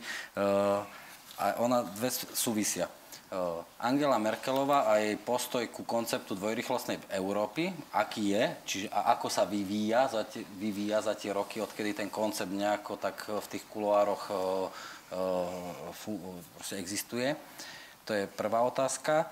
A s tým súvisiaca uh, otázka o tom, že Nemecko ako hegemon Európy, že Nemecko dote, že vlastne toto sa začína viac diskutovať práve s tým Gréckom, to vyšlo práve spomínaný Habermas sa dokonca tiež obul, aj Kohl dokonca sa obul a teda kritizoval politiku e, Angely Merkel, e, Merkelovej. A to isté Habermas, že oni hovorili, že proste to už bolo ako keby cufíl, že to už bolo príliš veľa, ako Schäuble s Merkelovou vystupovali v, tej, v, tej, v, tej, v tom procese, kde doslova ako keby diktovali, e, proste stratili nejakú citlivosť na tie kompromisy, koncenzy, tak ako, ako čím boli vlastne Nemci povestní, že vlastne niečo sa zlomilo v tom geopolitickom európskom fungovaní nemeckej politiky, tvrdia oni, a teda to ma zaujíma, že ako, spojme si tieto dve veci do takých možno väčších nejakých vašich e, ako keby argumentov alebo ú, ú, úvah. E, ako to je? E, hrozí tá dvojrychlostná Európa, hrozí to, že, Nem, že, že, že Nemci, že Angela Merkelová vlastne nejak ako posvetí ten koncept a teda, že, že si ho nemecká politika osvojí a či teda jej vystupovanie v tej gréckej kríze, alebo teraz teraz po poslednom období práve pri tých mnohých, ako Ukrajina, e, Nord Stream 2 a tak ďalej, že či my vidíme signály toho, že, že ten koncept si osvojuje, že budú dve Európy, proste rýchlejšia, pomalšia, alebo stará a nová. Pán Slobodník, ja myslím, neviem, áno, jasné, ja myslím, že sa tu zatiaľ darilo vyvažovať na jednej strane e, odmietanie toho, aby sme pokračovali rýchlosťou najpomalšie sa hýbúceho členského štátu a na druhej strane, e, aby sme sa niekam hýbali bez toho, aby sme narušili zásadne kohéziu Európskej únie a projekt e, Európskej únie, no dnes už vieme, nie na 20, v počte 28, ale zrejme v počte 27. A to predpokladám a chcem veriť, že zostáva ako si ultima ratio pre nemeckú politiku. To znamená, ne, postupovať síce možno, že aj v niektorých oblastiach rýchlejšie v menších skupinách a dobre vieme, že taká je realita už dnes, lebo máme Schengen, ktorý neobsahuje 28 krajín, máme eurozónu, ktorá neobsahuje 28 krajín a máš, keby sa mi chcel aby som už menšie projekty, ktoré neobsahujú všetkých 28 krajín. Ehm, ale na druhej strane hodnota kompaktnej e, Európskej únie ako celku e, je hodnotou samou o sebe a niekedy prosto sa zdá, že je... Počujte, ale ja rezon, de, to. Rezon, dobre, skočte. Že e, jedna len taká poznámka, že podľa mňa jazyková politika tam ešte platí, že de facto ako keby nefunguje tých 28 jazykov reálne, akože to len to k tomu Schengenu a k tomu, k tomu, k tej eurozóne. Ale že je to tak, to je to moja otázka, že je Európska únia hodnotou sama o sebe, je pre nemeckú kompaktnosť... politiku, pre nemeckú politiku je, proste Nemecko bez ukotvenia v Európskej únii sa ako keby same seba bálo, Aha. Hej, keby, nebolo, keby nebolo limitované... Čoho sa bojí? No tým, že dojde k nejakému zvrhnutiu sa typu AFD alebo MPD alebo alebo. Proste ono vie, že jeho ukotvenie v tomto priestore ho chráni pred všetkými tými démonmi, ktoré e, kde si v hĺbkach, e, to je známy obraz, Akože v potreb- hĺbkach nemeckých lesov driemajú a čakajú na svoju príležitosť. A e, AFD je, alebo MPD, respektíve AFD svojím spôsobom je výrazom alebo tvárou týchto práve týchto, no Pegida je, e, ale Gida a iné Gidy sú, e, sú výrazom tiež týchto istých démonov a týchto istých proste temných, e, temných vášní a temných síl, ktoré, ktoré tu existujú v, v Nemectve. V Nemectve. No, o- o- o tom- o- o a preto, a preto, ten, treba, preto ten seba limitujúci, preto tá veľmi silná seba limitujúca lojalita voči európskemu projektu. A tam proste, kde si by som sa chcel spolahnúť, že na rozdiel od iných e, veľkých kontinentálnych e, mocností, európskych mocností, ktoré nebudeme menovať, tak e, že v prípade toho nemeckého prístupu k európskemu projektu bude vždy prítomná vždy prítomná táto emócia. Veľmi, veľmi silná, veľmi dôlež- dôležitá a pre nás, pre krajinu typu veľkosti Slovenska, v podstate, e, som, veľmi, e, veľmi e, spásonosná, ak existuje nejaká benigná, benigná e, európska veľmoc, tak e, si ju dovolím, dovolím by som, dovolil som si povedať, že to je určite, to je určite proste to Nemecko, ktoré, e, ktoré je krajinou, ktoré sa usiluje A to aj so susedmi A dobre, dobre, dobre. komunikovať spôsobom, ktorý je vzdialený e, od nejakého proste veľmo, velikářského alebo veľmocenského prístupu. Za chvíľu sa dostaneme k Nord Stream a budeme... Budeme hne, hneď som tam, mne to príde strašne zaujímavé, Budeme- čo budeme hovoríte. polemizovať, Čo ale- hovoríte, lebo vlastne to je taká zvláštna vec, že vy sa stávate ako keby, lebo že, že empatia je väčšinou niečo, čo vás robí, že slabším, nie? Že, že to je ako keby, že ten, čo má empatiu, tak ten vlastne sa rozdá a vždy je to ten ako keby e, na konci dňa v podstate nejaký, nejaký lúzer a teda e, skôr ide o to ako keby svoje záujmy ochrániť, teda vždy tí žraloci budú ako keby, sú menej sympatickí, ale vždy napokon majú viac moci. A toto je také zaujímavé, čo hovoríte o tých Nemcoch, lebo vlastne to, čo vravíte, je pre mňa, ja si to prekladám, že tá empatia je vlastne tá, ten obranný mechanizmus. Že to je vlastne to, je to, čo nás robí ako keby silnejšími. Že, to, že potrebujeme tých Poliakov a všetkých tých ako keby, ja neviem, Slovákov, neviem čo, potrebujeme ich prosto na to, aby nám ako keby nepreskočilo. Hej? Že, e, tak poviem to tak na... Ja som že dám to do Twitterovského 140 znakového. Ja som veľmi zvedavý, čo povie pán, e, pán Hendl, pretože ja prirodzene k tomu pristupujem e, z um, pozície suseda svojho suseda, v tomto prípade e, suseda Českej republiky. A pozerám sa na Nemecko cez, cez túto jednu, ešte jednu fil, jeden filter. Hej. Je možné, že sused e, Nemecka ako hegemona, ako v, moj, v mojich očiach stále tvrdím benigného hegemona, A čo je to iný. ten benigný? Benigný hegemon je taký, ktorý koná v, vo, verejnom, vo verejnom, v tomto prípade európskom, e, dobre. Okay. V záujme e, verejného európskeho dobra. To je bajná bytosť. No, e, dobre, dobre, tak v istom okamihu sa môžeme dostať k téme septembra 2015 a rozhodnutia nemeckej spolkovej kancelárky, že z priestoru, ktorý e, je od Žiliny ďaleko, ale od Bratislavy ležal len niekoľko desiatok kilometrov, prosto zobere niekoľko sto tisíc ľudí a e, prepraví ich do Nemecka. Ak ich neviete, hovorí Maďarom, ak ich neviete vy ubytovať a umiestniť a prijať, ak ich neviete vy, Rakúšania, ubytovať a prijať, uh, wir werden es schaffen, my to zvládneme a pustíte ich cez uh, Maďarsko, respektíve cez Rakúsko k nám, teda do Bavorska hlavne. Historická udalosť. No, historická udalosť, ale to, nie, je to, nie je to náhodou, nie je to presne vyjadrenie toho, že ak to tu my, ak to tu nezvládnete, tak hrozí zásadné veľké narušenie európskeho verejného poriadku, aby som použil takýto to je zložený také výraz. zvláštne, ale že teraz ma to vlastne napadá, že interpretácia toho činu, toho, toho činu, nielen Toho teda gesta, toho gesta, štátnického činu, gesta. e, je vlastne, ono sa hovorí, že to je pomoc tým utečencom, ale že ono vlastne je to v prvom rade pomoc tým štátom, v ktorých tí utečenci boli, že, že ona vlastne pomohla... štátom, ktoré hrozili, Áno. ktoré hrozili vnútorným európskym Áno, áno, áno, Myslím, áno. táto situácia, ktorá sa vytvárala v tomto prípade na rakúsko-maďarskej hranici z maďarskej strany. Na konci dňa pomáha samozrejme stovkám tisíc jednotlivcov, To ale tiež. primárne ako keby politicky ona uvoľňuje tlak e, v, Absolútne. v Rakúsku, v Maďarsku. Tak Papenov uh, Hrdec. Hej. Tak, tak, tak. Čiže, no dobre, to sme trošku zašli my dvaja ďaleko, ale poďte, mňa zaujíma, bude zaujímať váš názor v tejto situácii, na teda, ako vy vidíte tú vec, že Nemci a dvojrychlostná Európa. A, Tak a, eh, německá politika, včetně Angely Merkelové, potřebuje, aby byla zachovaná evropská jednota, pokud možno, protože nebezpečí dvojrychlostní Evropy je to, že se Německo zůstane v tom jádru s Francií a se státy, které, kde převážejí pře, pře, především ty jižní státy. To jsou státy, které mají úplně jiný přístup k formování no, hospodářské politiky. Počkejte, ešte tie južné štáty po Brexite v sobotu, hej, v piatok bol Brexit, v sobotu sa stretáva kto?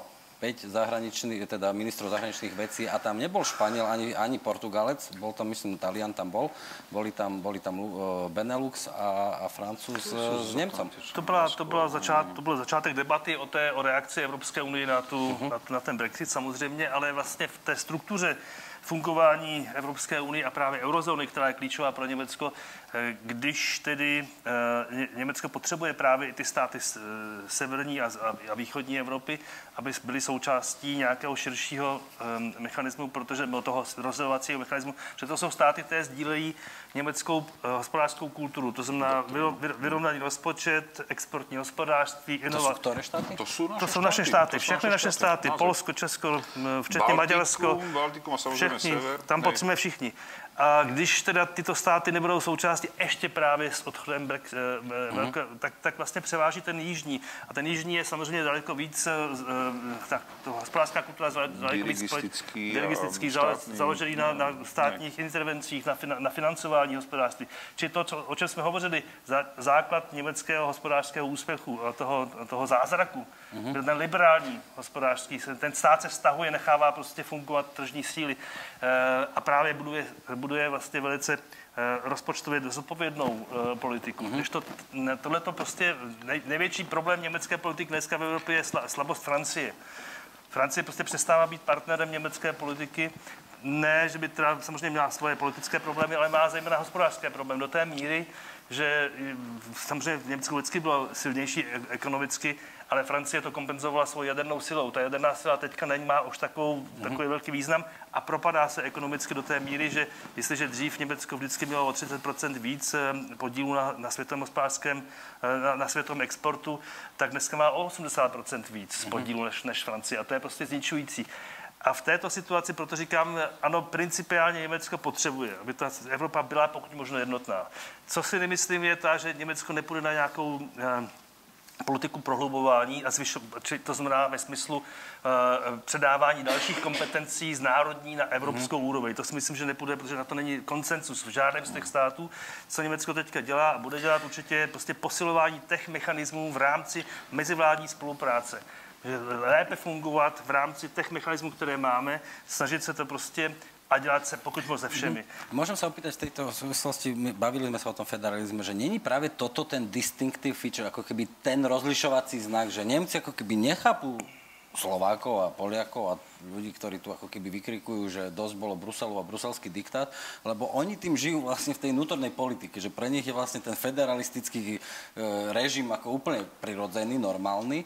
Politika pre, prerozdeľovania, prerozdeľovania, proste takého zložitého dohadovania a tak ďalej, tej inštitucionálnej... Sa zdrojov, vyslovene priamo, priamo prerozdeľovania Čiže zdrojov. není toto ako keby práve toto ten najväčší rozdiel medzi Nemeckom a zbytkom Európy, že vlastne oni majú federalizmus v krvi a my nie? Určite to je súčasť, jestli ste chceli...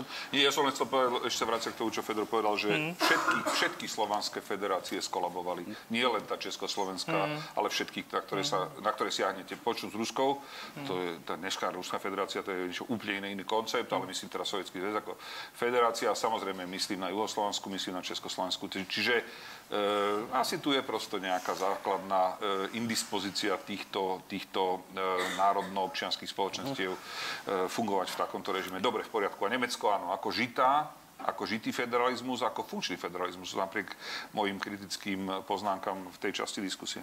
Uh, a teraz tak uh, máme celkom ak držíme čas, v podstate máme hodinu 20 za sebou a sme ako keby v tej jadrovej diskusii, čo, čo je dnes a ja v tom budem pokračovať dve témy. Použijem tú metaforu toho nemeckého vlka s tým ruským medveďom. Keď sa urobil Nord Stream 2, tak sa vlastne dosť veľa kričalo, dokonca, a to nehovorili nejakí ako keby novinári, to boli hmm. normálne ako keby tí ľudia, šéfovia tých firiem, keď na Bratislave tento rok bola tá konferencia energetická, čo organizoval Sašo Duleba, tam som to počul, že Molotov-Ribbentrop pakt, že hmm. treba o tom takto začať rozprávať, jednoducho taká je pravda, Nemec s Rusom sa zase dohodol a teda ako keby ide, ide, ide nás ako keby Strednú Európu zapredať. Strašne ako keby ostro sa voči tomu tí ľudia tam vyjadrovali a boli to všelijakí ministri a, a, a, a tak. Hmm. Čiže, čiže žiadna sranda, e, ťažké proste slova e, o tom, takže e, O čo tam vlastne ide, pán Slobodník? Povedzte vy, vy ste ako keby, hovorím, e, znútra, že... E, e, a teraz nie, že technicky, čo s tým plynom a, a, a teraz koľko ho potrebujeme a neviem čo, ale akože tá, ten základný signál pre tých ľudí bol, že zasa sa Nemci s Rusmi ako keby poza chrbát dohodli a tá situácia bola taká, že Angela Merkelová na to reagovala dosť neskoro, dosť tak ako keby vlážne, v princípe tie prvé signály boli, alebo prvé message, ktoré ona, že, že to ako keby nevedela o tom doslova, mm. že, že, že to vlastne upiekli tie firmy a teda Bundesregierung uh, s tým nič nemá. Čiže ako, ste, ako si ste si to vy vys- Zásadné prístupy, ktoré na seba narážajú. Jeden je ten, ktorý tvrdí, že ide o komerčný projekt a, a ten náš, ktorý hovorí, nie, nejde o, nejde o komerčný, ale o politický projekt. Ehm, treba počúvať, samozrejme, že treba počúvať nemeckú stranu, ktorá hovorí, no dobre, e, žiaľ Bohu, žiaľ Bohu, v tomto naši ukrajinskí partnery nemôžu vykázať veľmi silný track record, nejaký záznam o korektnosti a o schopnosti aj udržiavať tú, e, tú sústavu tranzitnú v takom stave, v akom by ju očakávali od nich západní partnery. A tak proste je tam veľa takýchto faktorov, ktoré, ktoré, ktoré, na ktorými sa treba zamyslieť, ale ktoré treba možno riešiť iným spôsobom, ako obísť Ukrajinu úplne a proste popred, popred Polsko previesť morom, Baltickým morom do Greifswaldu druhú rúru a tam ju proste vypustiť na breh. Je tam ten argument, a je to pravda, že Nemecko, ktoré vystupuje z, do roku 2021, ak sa dobre pamätám, z jadrovej energetiky, potrebuje alternatívu k nej a alternatívou sú paroplínové cykly. A pre tie potrebujete viac plynu ako doteraz. A samozrejme, že je tam aj ten čistý obchodnícky, komerčný záujem, že sa Nemecko stáva hlavným hlavným tranzitorom ruského, plivu, eh, ruského plynu pardon, a že naopak z iných eh, dvoch základných destinácií, z Holandska a z, z eh, Norska ho bude prichádzať menej. Objektívne. To, je, to všetko platí. Čiže toto sú tie argumenty nemecké strany, tie argumenty naše sú známe nemôžete jednou rukou podporovať, uplatňovať a prípadne aj rozširovať sankcie voči Ruskej federácii a na druhej strane Ukrajinu takýmto spôsobom pripraviť o možno 2 miliardy, 2 miliardy eur ročne, ktoré získava na tranzitných, na tranzitných. Takže toto je irritant, o ktorom sa bavíme, o ktorom, proste, o ktorom sa usilujeme argumentovať, o ktorom sa usilujeme využiť celý priestor, ktorý nám poskytuje e, európske aky. No vy ste nám to teraz Unia. pekne oficiálne ako keby vysvetlili. Vysvetlil som to len, hovorím, že, že sú argumenty, ktoré treba počúvať. Hey, hey, hey. Toto, ta, ta, sú argumenty, ktoré prichádzajú z ich strany a ktoré treba počúvať. Treba žiaľ Bohu vidieť, teraz by som sa mohol zviesť e, na téme Ostpolitik, lebo pre niektorých, pre niektorých e, z SPD je aj toto akési pokračovanie Ostpolitik. Meno spolko, bývalého spolkového kancelára tu už zaznelo, tak ho nemusím brať do úzdia. Žiaľ Bohu, aj súčasný predseda SPD k tomu pristupuje e, takým spôsobom, že sa usiluje ako keby, e, povedal by som, Zigmar vychádza, Zigmar Gabriel sa usiluje vychádzať v ústretí e, veľkým korporáciám nemeckým, ktoré sú v tom e, neadekvátne silne za, zapojené v tomto veľkom projekte, teda Nord Stream 2. E, to už je ten, skôr ten, ten, tá zmena cez obchod. Žiaľ Bohu, v tomto prípade cez obchod s e, Ruskou federáciou, ktorá ako som počul, už tu bola eh, veľmi konkrétnym spôsobom na tejto pôde a možno z týchto istých kresiel definovaná ako krajina, ktorá prirodzene ako štát, ktorý porušil eh, množstvo medzinárodných uh-huh. pravidel hry a ktorá prosto by naopak mala sa vrátiť postupne, dúfajme, na pôdu medzinárodného práva. Čiže No, to je tiež, e, ak chcete, úškľabok Grimasa Ostpolitik, e, pretože prirodzene, že keby ste s nimi dlhšie rozprávali s priateľmi, s súdruhmi z SPD, tak oni vám asi, asi toto budú, budú argumentovať. Celkom smrteľne vážne. E, nie som vôbec prekopený tým, že bez toho, aby som ich menoval, že niektorí poprední predstavitelia SPD, súčasne alebo bývali, veľmi radi a veľmi intenzívne cestujú do, do Ruskej federácie a proste vytvárajú dojem nejakej legitimizácie Ruskej federácie, ktorá, ktorá sa správa spôsobom, ktorý to vôbec, e, ktorý nezakladá, povedal by som, nárok na tento, na tento druh e, treatmentu. Čiže toto všetko sú, toto všetko sú komponenty toho, e, kde sa nachádzame a bude to pokračovať aj v bilaterálnom vzťahu, aj v tom, v tom triangulárnom vzťahu, to znamená Slovenská republika, skupina, veľká skupina iných členských štátov. Treba pripomenúť aj to, že veľmi dôležitú úlohu v tom zohráva a možno v tejto chvíli už vedúcu úlohu zohráva Polsko. E, ten tá triangularita pozostáva z, z, z tejto skupiny krajín, z e, Bruselu, teda Európskej komisie a z Nemecka, ktoré e, v tejto chvíli skutočne vytvára predpoklady na, na obidenie na obidenie tých tradičných tranzitných trás. Ale vyzerá to na teraz tak, že teda aj, aj vlk, aj koza, že také nejaké to riešenie, alebo také, také proste má, čaká sa na to finálne rozhodnutie toho protimonopolného úradu nemeckého, vyzerá to, ale Rusi zároveň ako keby za, za, uh, slúbili, že teda tá ukrajinská rúra uh, nezostane suchá, ako sa hovorí, mm. čiže presne, že ako keby smeruje k, to, k takému nejakému klasickému kompromisu.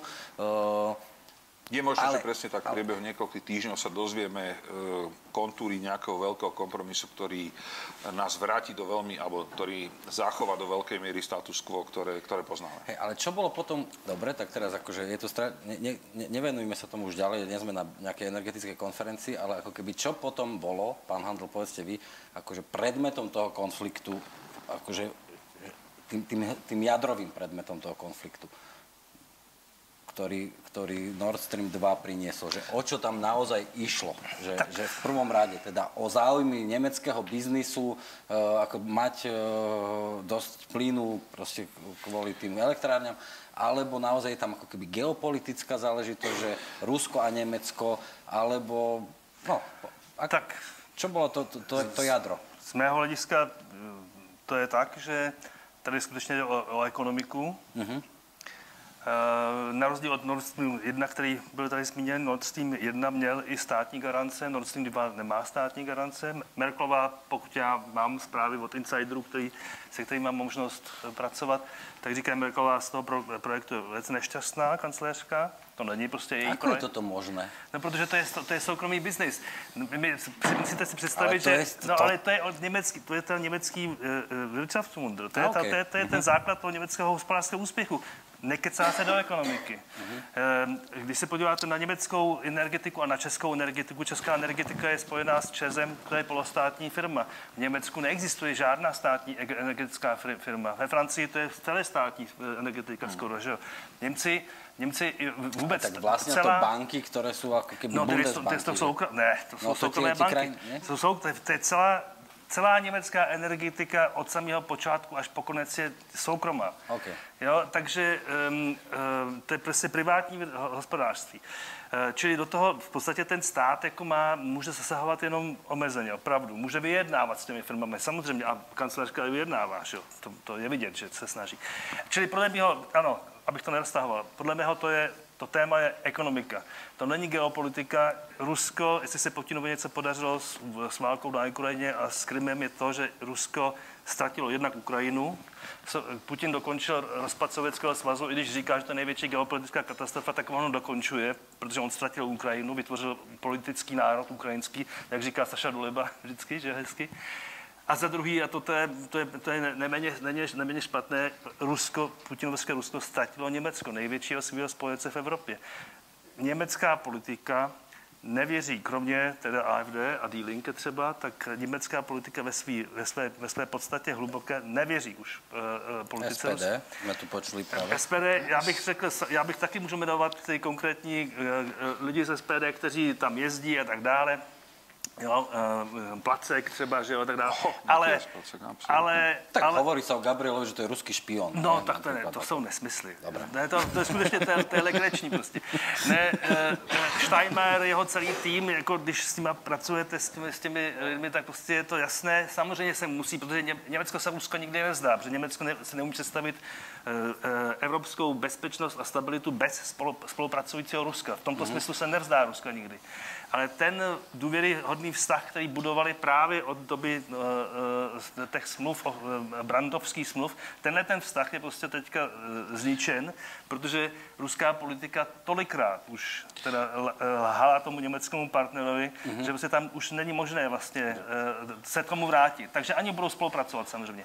Ale čili není to, není to snaha jako jim stříc ve smyslu tom, že navázat nějakou německo-ruskou jako osu Európskou. Dobre, a teda tak poďme do vnútropolitickej nemeckej debaty. Je po, podľa vás tento Nord Stream ako keby tá, opäť tá pozičná hra, že medzi silou tej politiky a silou tých, tých korporácií, tých koncernov, že, že tam sa dejú zmeny, že tam sa ako keby, že, že niekto vyhráva. Kto vyhráva? Že vyhrá napokon Bundesregierung proti súkromnému no, no, biznisu? No, no, pozor, pozor. Tu treba povedať, že e, veľkým proponentom e, projektu je už spomenutý predseda SPD, ktorý je zároveň vicekancelárom, spolkovým vicekancelárom a ministrom hospodárstva. Hej?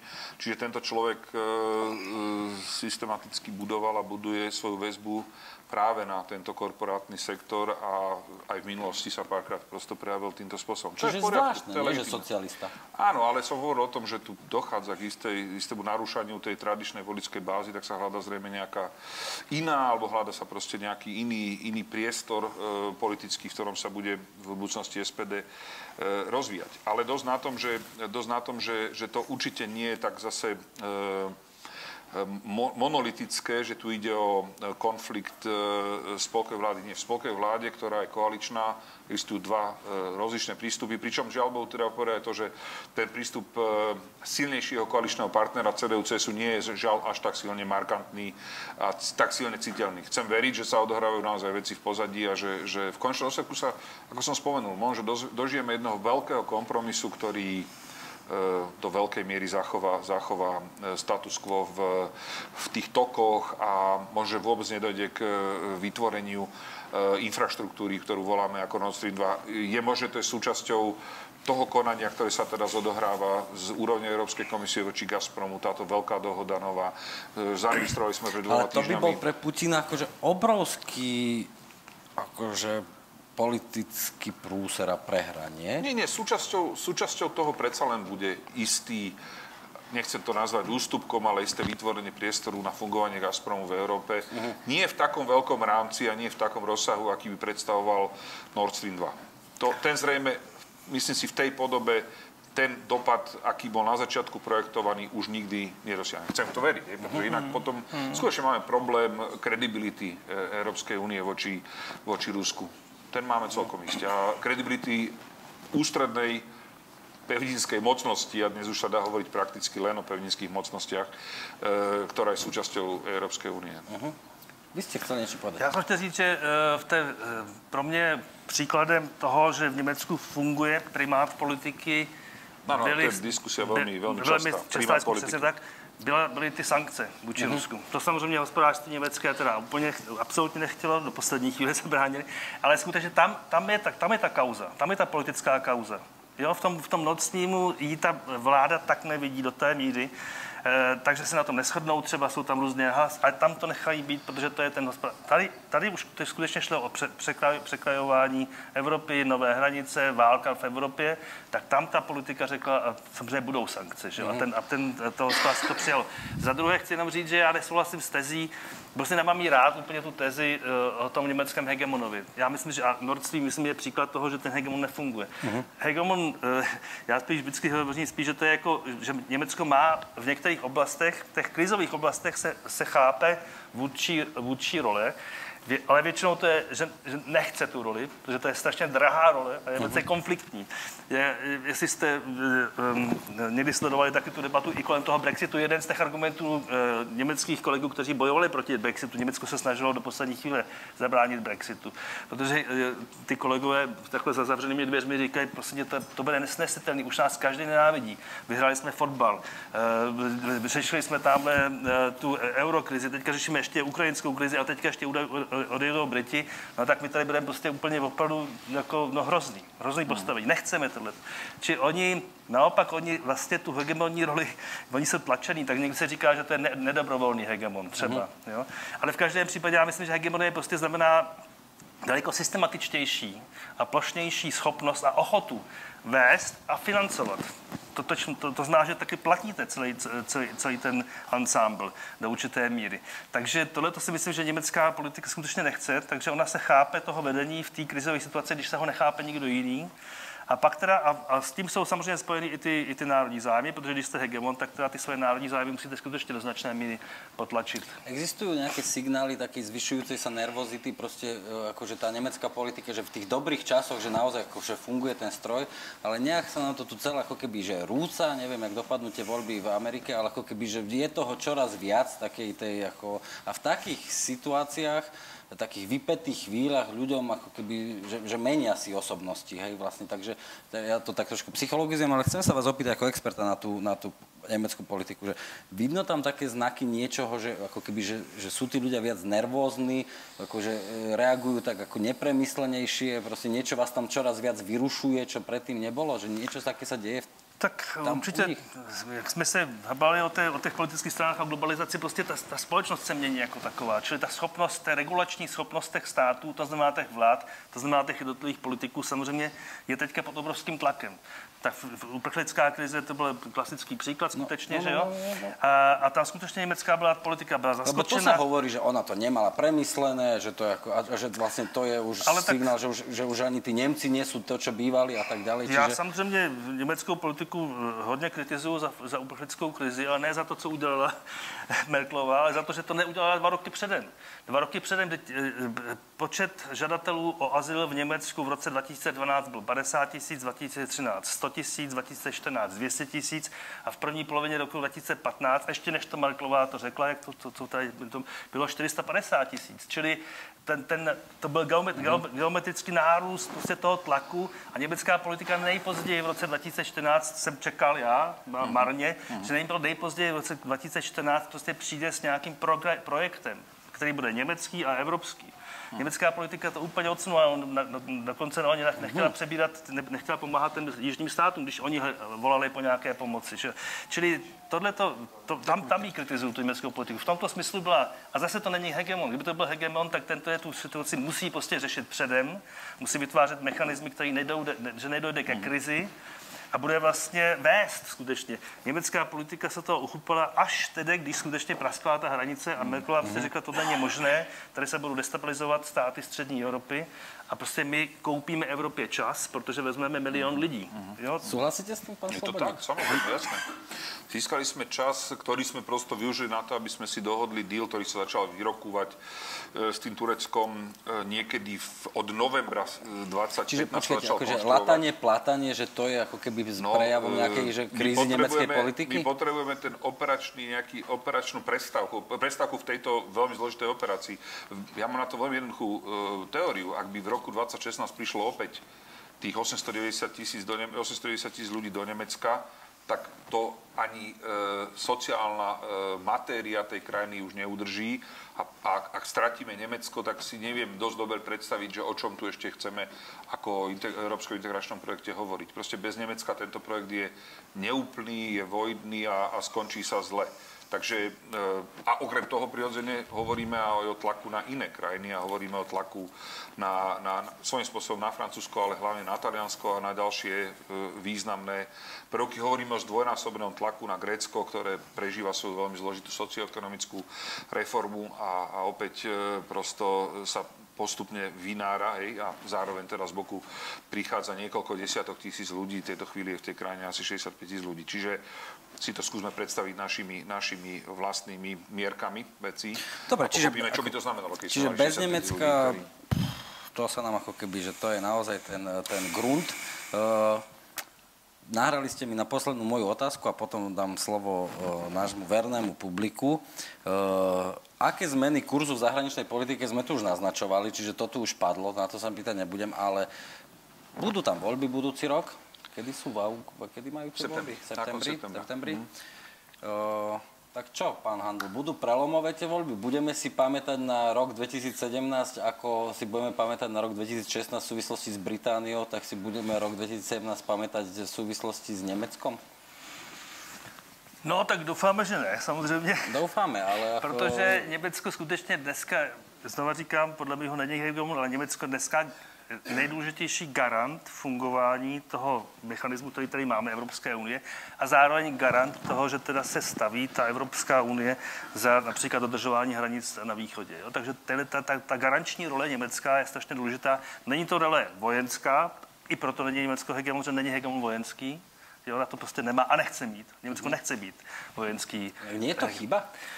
To je přirozená reakce na, německou děj, na německé dějiny, protože oni... No dobré, ale to jako keby je no, naozaj tři no, generace prešli. Z hlediska, z hlediska, pre budoucnost. Z hlediska Kissingera, že jo, nebo Mersheimera, který se často tady cituje v našich, našich eh, zemích, když jde o Ruskou a Ukrajinu, takový eh, realista eh, americký, ofenzivní realista, tak ten samozřejmě, já jsem u něj byl kdysi na, na, na interview v, v Chicagu na univerzitě, a on prostě, jeho názor byl, samozřejmě musíme okamžitě, to bylo rok 1992, 4, my musíme, my musíme jaderně vyzbrojit Německo, protože Německo samozřejmě se bude chovat jako normální stát, bude usilovat o větší, větší sílu a součástí větší síly je prostě jaderný potenciál. A když my jim to nedáme my, američani nebo západ, prostě, tak, tak prostě půjdu do války a budou to získávat. Čili to, to, je, ale to je přesně to, co vůbec nenastalo. To Německo nechce tu dimenzi. Proto potřebuje, aby fungovalo NATO, proto fungu, potřebuje, aby fungovala Evropská unie, protože Německo tohle to nechce dělat. No keď sa, ja, ja teraz pre, preskočím, ale mne to prišlo veľmi zaujímavý ten postreh. Ja som si písal s takým e, pánom e, z Alepa, šachista z Alepa, s ktorým komunikujem o tej situácii tam a on mal, on, on tak úplne zaujímavú myšlenku mi hovoril, že on nechápe tých Nemcov, že to dopustia, že im sa to deje, ako on vnímal tých Nemcov ako, že to je základ, že to sú tí Európania, že, že máte tu tú Európu a máte na Prahu tej Európy, ako keby za Tureckom, tú vojnu ktorú, o, o ktorej on hovorí, že jeho a jeho deti zabíja, proste, že s tým sa dobre nedá nič robiť, ale že ako je možné, že tí Nemci akože, že nechajú Rusov tam robiť poriadky a ne, akože ne, neurobia ich sami, hej, lebo vy keď si nezametáte ako keby pred svojim prahom, tak to nejak naznačoval, tak vlastne, e, čiže ako, o tom sa teraz vlastne bavíme, že, či, že, že akože o, o, o, o, predpokladáte, že buď ako keby, že nemecký vojak, teda bez akýchkoľvek sentimentov na, na druhú svetovú vojnu, proste nemecká armáda Bundeswehr ako keby, že oveľa silnejšie odnes o 10-15 rokov,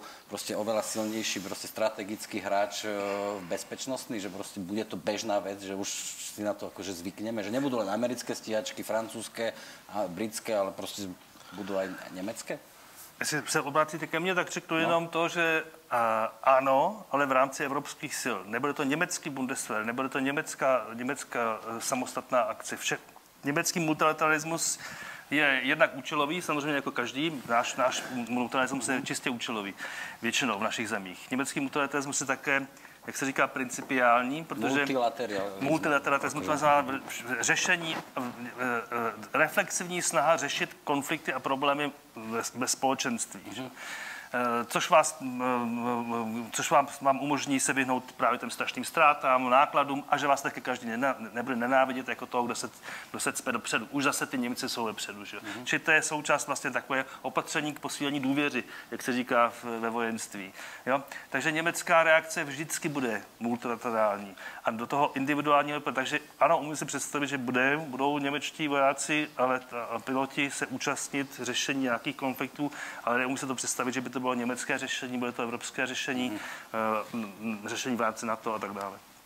Pán Slobodník, podľa vás, vy ste tam v tom Berlíne boli, však poznáte to tiež aj, aj znútra, že budú tie voľby prelomové a teraz možno nie výsledkom, ale ako keby, že téma volie bude taká, nejaká, ako keby nevieme ešte, aká bude, ale proste, že po, bude tá téma volie možno s tými imigrantmi, ktorá vlastne prekreslí trošku tú, tú demokratickú, otvorenú, tvár nemeckej spoločnosti.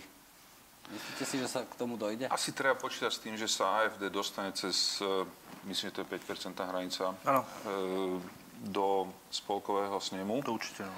To sa asi dostane e, na, na, na, na spolkovej úrovni tento výsledok urobí. Dnes tá najsilnejšia myšlienková škola sa sústredí okolo tej možnosti obnovenia koalície CDU sú zelení, uh-huh. aj kvôli problémov, ktoré má SPD so svojou voličskou podporou. A ak by k tomuto došlo, ak by k tomuto došlo, tak by to mohlo zapadnúť do istého scenára, ktorý už súvisí aj so zajtrašnými prezidentskými voľbami. V prípade, a to je čiastočne odpoveď potom aj na vašu otázku, a neviem, či to je až také prelomové, lebo to ja tu vidím tento túto tendenciu k preberaniu väčšej časti zodpovednosti aj v bezpečnostnej oblasti na strane Nemecka dlhodobo. Uh-huh.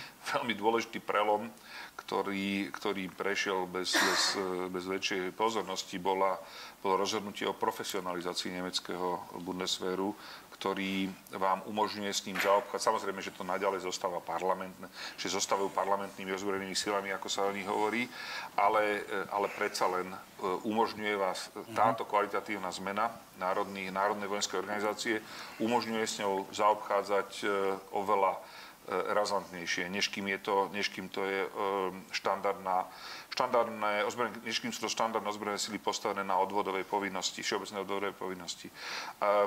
To je otázka reformy Bundeswehru, ktorá by bola... Tá, tá, tá, je, tak to je samozrejme dlhodobý proces, ktorý sa začal...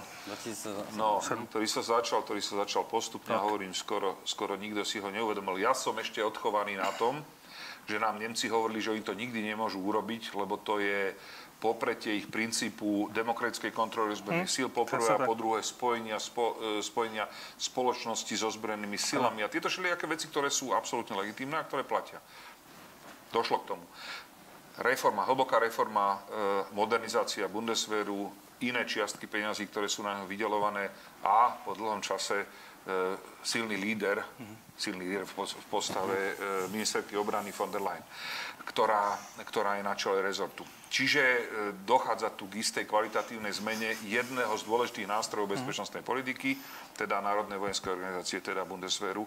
A aby som sa vrátil k tomu aktualizačnému prvku, ktorý, na ktorý dostaneme odpoveď zajtra okolo, alebo dobre, pozajtra okolo jednej, pol druhej, keď začnú zverejňovať prvé výsledky exit polov. V prípade, že sa Spojené štáty ešte viacej stiahnu z transatlantických vzťahov, než ako sa stiahli, tak toto vakuum vo, v našom zase, v našom vlastnom prirodzenom zájme keď bude... vyhrá Trump, hovoríte. Áno, áno, samozrejme, ak vyhrá Trump, tak v našom vlastnom zájme bude, aby ho zaplnila dobre nepoužijem pojem hegemon, aby ho, e, zapojila, aby ho zaplnila skrz nás, skrz demokratická krajina typu Nemeckej spolkovej republiky. E, teda tá kontinentálna veľmoc, lebo kontinentálnu veľmoc mi mm. pán kolega zrejme bude akceptovať mm. ako, ako mhm. termín tá, o ktorej tu hovoríme už hodinu my sme, my sme sa tu v rámci tej debat, tých debat vlastne bavili. Pardon, len to poviem, prečo zelení.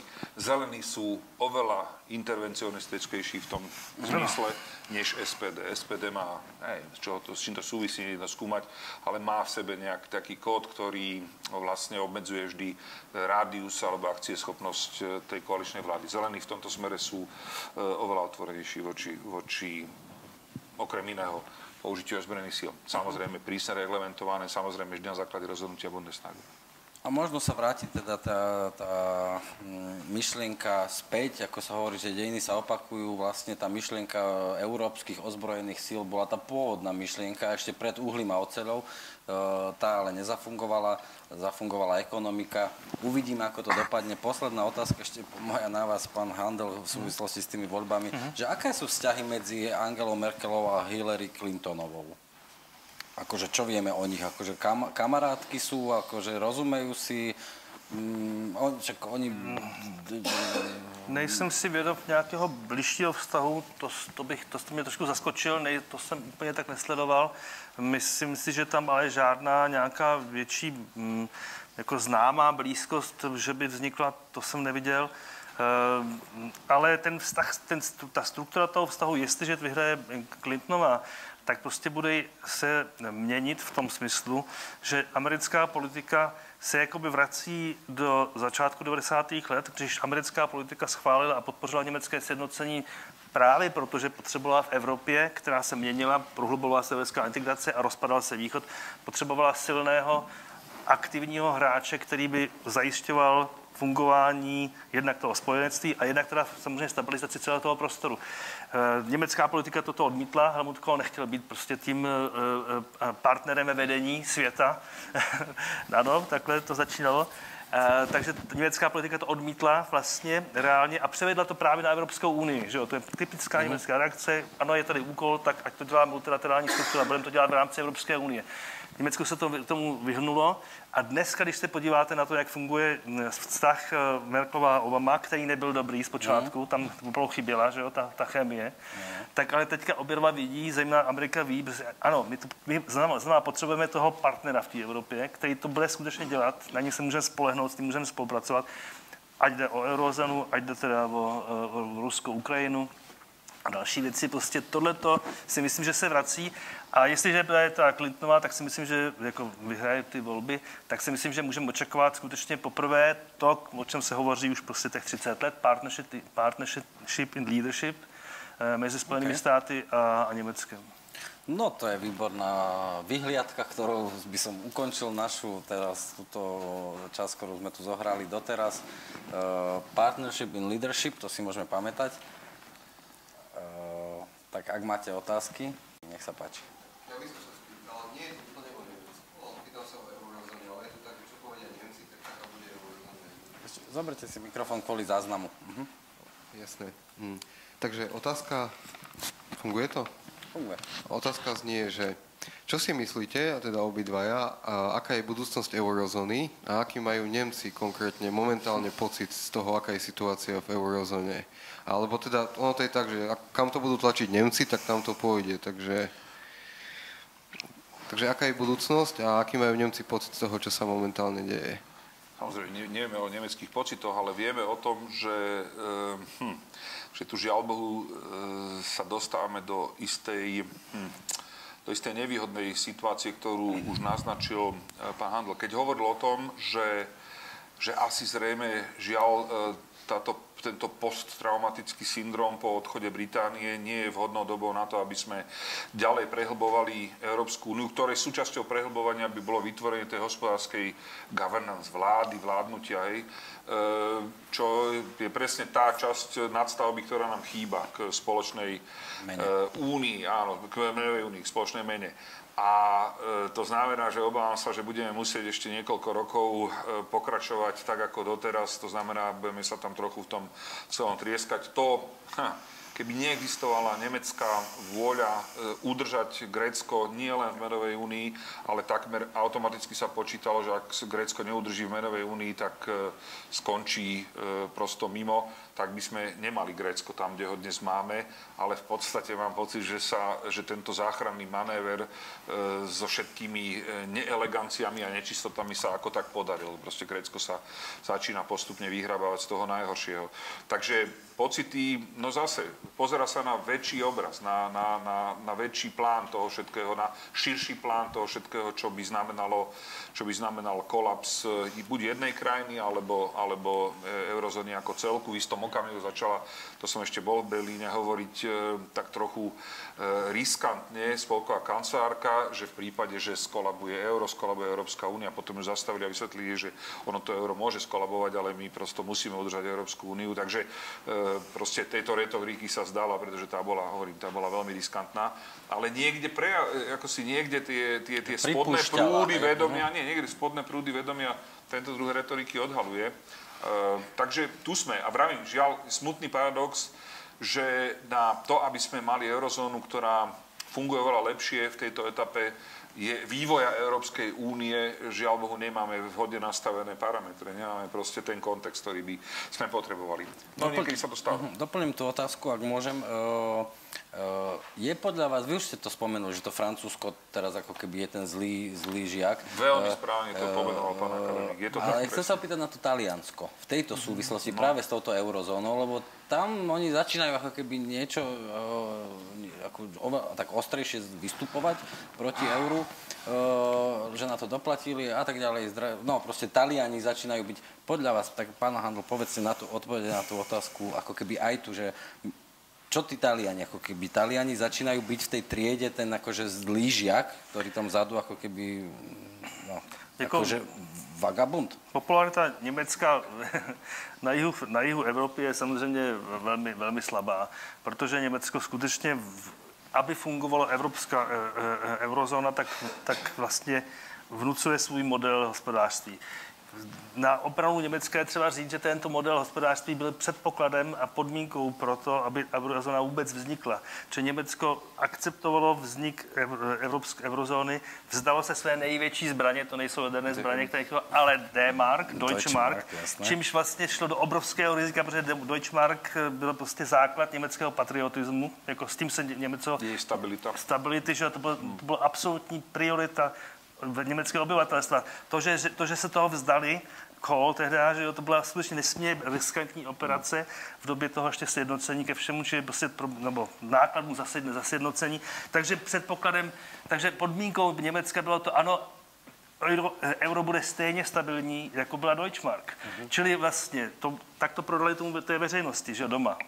A, navíc teda potom, že, že ta centrální banka bude ve Frankfurtu. Zase to je symbolický akt, mohla by kdykoliv jinde, ale oni musí ukázat lidi, nebojte se, ta, ta, ta euro, prostě ty vaše Deutschmark se neroz, ne, nerozpadnou v té eurozóně.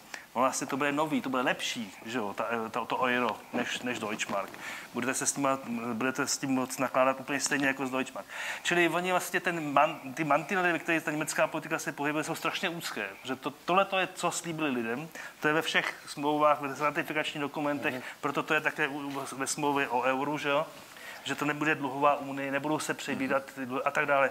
Či tam Německo vlastně úplně tak ustupovat nemůže. Samozřejmě tragédie je to, že, jak to říkal vždycky náš bývalý prezident Václav Klaus, což měl pravdu, když já s tím často nesouhlasím, nebo hodně často nesouhlasím, tak v tom to teda měl vždycky pravdu. Ano, euro, eurozóna prostě není optimální uh, měnová unie, protože tam jsou tak uzdělené ekonomiky, ale prostě tím pádem dochází potom při tomto krachu dochází, nebo tento problém dochází k tomu, že teda ten klíčový stát a ta, ta skupina těch států, kteří sdílejí tuto politiku, prostě ji vnucují těm ostatním, protože jinak si neumí představit, jak teda tu celou situaci e, stabilizovat. Takže na vaši otázku, jestli jak to vidí, vnímají Němci, tak vnímají, Němci to vnímají samozřejmě chápou, že to, je, že to má strašné sociální a lidské náklady, třeba v tom Řecku, že, že to je fakt tragédie toho, e, toho, toho státu a toho národa.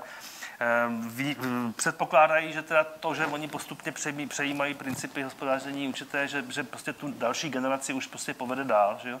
A v, mezi, v, mezi, v mezidobí, eh, jak říkal pan Veslanec, že prostě se to bude postupně zlepšovat, už se to začíná trošku zlepšovat ale v mezidobí prostě budou dál jenom stabilizovat vlastně ten stav. Mm-hmm. Není to řešitelné radikálním tím, protože, jak bylo řečeno správně, prohloubit eurozónu prostě teďka momentálně nejde.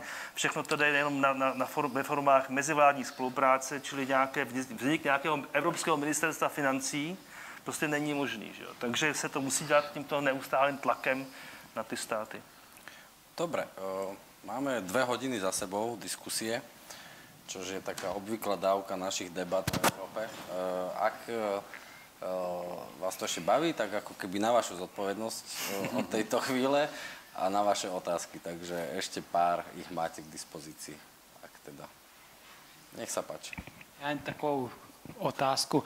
Máme tady plno politiku, ale měli bychom rozlišovat mezi politiky a státníky, že e, státníci, třeba to byl takový ten Erhard, ne, nebo Adenauer, mohli byste se vyjádřit, koho vy považujete e, teď v současné Evropě za státníky a proč? Hm, to je pekná otázka. Ďakujeme. No tak Zavládlo ja som už, nie, nie, nie, ja som už uh, istú no. indiskretnosť, isté indiskretnosti sa uh, dopustil, položákom považne poviem indiskretnosti, keď som hovoril o tom, že to gesto zo septembra 2015 má uh, charakter a parametre štátnického gesta. Hm. Hej, všetky ostatné veci môžeme keď o výkon toho gesta, môžeme sa pozastavovať, môžeme diskutovať a polemizovať, ale to gesto v tom danom okamihu bolo, bolo štátnické. Poprvé, to, aby som išiel do nedávnej minulosti a nakoniec e, to rozhodnutie v prospech záchrany Grécka a nakoniec aj záchrany viacerých štátov, ktoré sa ocitli v, e, v záchranných programoch, ktoré, chvála Bohu, sa medzičasom všetky vrátili na finančné trhy, prakticky všetky. E, to, bolo, to tiež bolo veľmi silne personifikované v Európskej únii a bolo spojené s Angelou Merkelovou a to zase má e, kvalitu e, štátnictva a líderstva európskeho a proste to sú tie ingrediencie, s ktorými e, táto žena vojde do učebníc dejepisu, čo samozrejme je ambíciou každého politika. A ona sa vždy pozerala e, na svojho predchodcu a na svojho svojím spôsobom mentora Kola v tomto. Takže, takže no, Kolovi sa podalo znovu zjednotenie. To je obrovské, veľmi vysoko nastavená látka. A, e, a, takto, a takto ju proste vidím. Musím povedať, že veľmi výraznou osobnosťou pre mňa, ale tá má ešte veľký potenciál na to, sa, aby sa prejavila, je aj britská, britská ministerská predsednička. Nadraz nejdem porovnávať s Thatcherovou, ale idem ju porovnávať, idem ju porovnávať tou obrovskou úlohou, ktorá pred ňou stojí. Mm-hmm. Na jednej strane absolútny rešpekt voči rozhodnutiu re, re, referende, e, s ktorým možno vnútorne nie je stotožnená, s tým, roz, s tým rozhodnutím a s tým, s tým výsledkom a zachovanie maximálneho, maximálneho, no nie komfortu, ale maximálneho postavenia Británie e, mimo Európskej únie. Ešte raz, rešpektujúc jednoducho rozhodnutie, lebo to by nebolo celkom v súlade so zásadami fair play. Čiže pred ňou je úloha, ktorá ju ktorá ju preskúša a z ktorá z nej môže urobiť e, významnú líderku. Žiaľ Bohu, nie v tom zmysle európskeho formátu, v akom by sme si to želali, keby zostala v, ako ministerská predsednička, ako šéfka exekutívy členskej krajiny Európskej únie, ale v inom, v inej kategórii, ak chcete. Čiže tieto dve osobnosti. Nuž a mnohých iných som nespomenul, pretože ich zatiaľ um, prosto ich zatiaľ kvality e, sa nepreukázali. Hoci teda krízovej, e, krízového kontextu v Európskej únii máme nadostač. Však máme nadostač. Máme toľko taký súhrn krízových javov, e, ktoré, mm, ktoré sa není, nakopili. Není pre vás, nechcem vás do toho nutiť, tak sa opýtam radšej pána Handla, že pre vás e, ako keby jasné, že Angela Merkel má proste veľké výzvy a s výzvami rastieme a tak ďalej. Ako sa hovorí, nerodíme sa hrdinami, ale stávame sa nimi. Ale povedzte vy, že, že tu z tejto našej strednej Európy nie je pre vás ten Donald Tusk taký ako keby zaujímavý chlapík v tejto súvislosti? Akože, uh, no, v, to, v, to, v odpoveď na tú otázku. Predsa len 8 rokov, jo. liberálna platforma, e, teraz je, je, je predseda tej rady, e, nejak si počína. Zhodnoťme ho jedným slovom, dvoma, troma.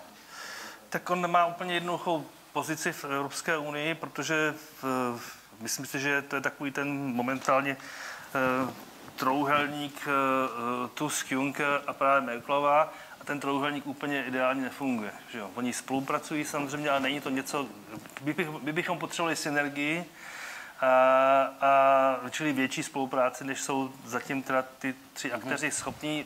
E, takže to je trošku problém.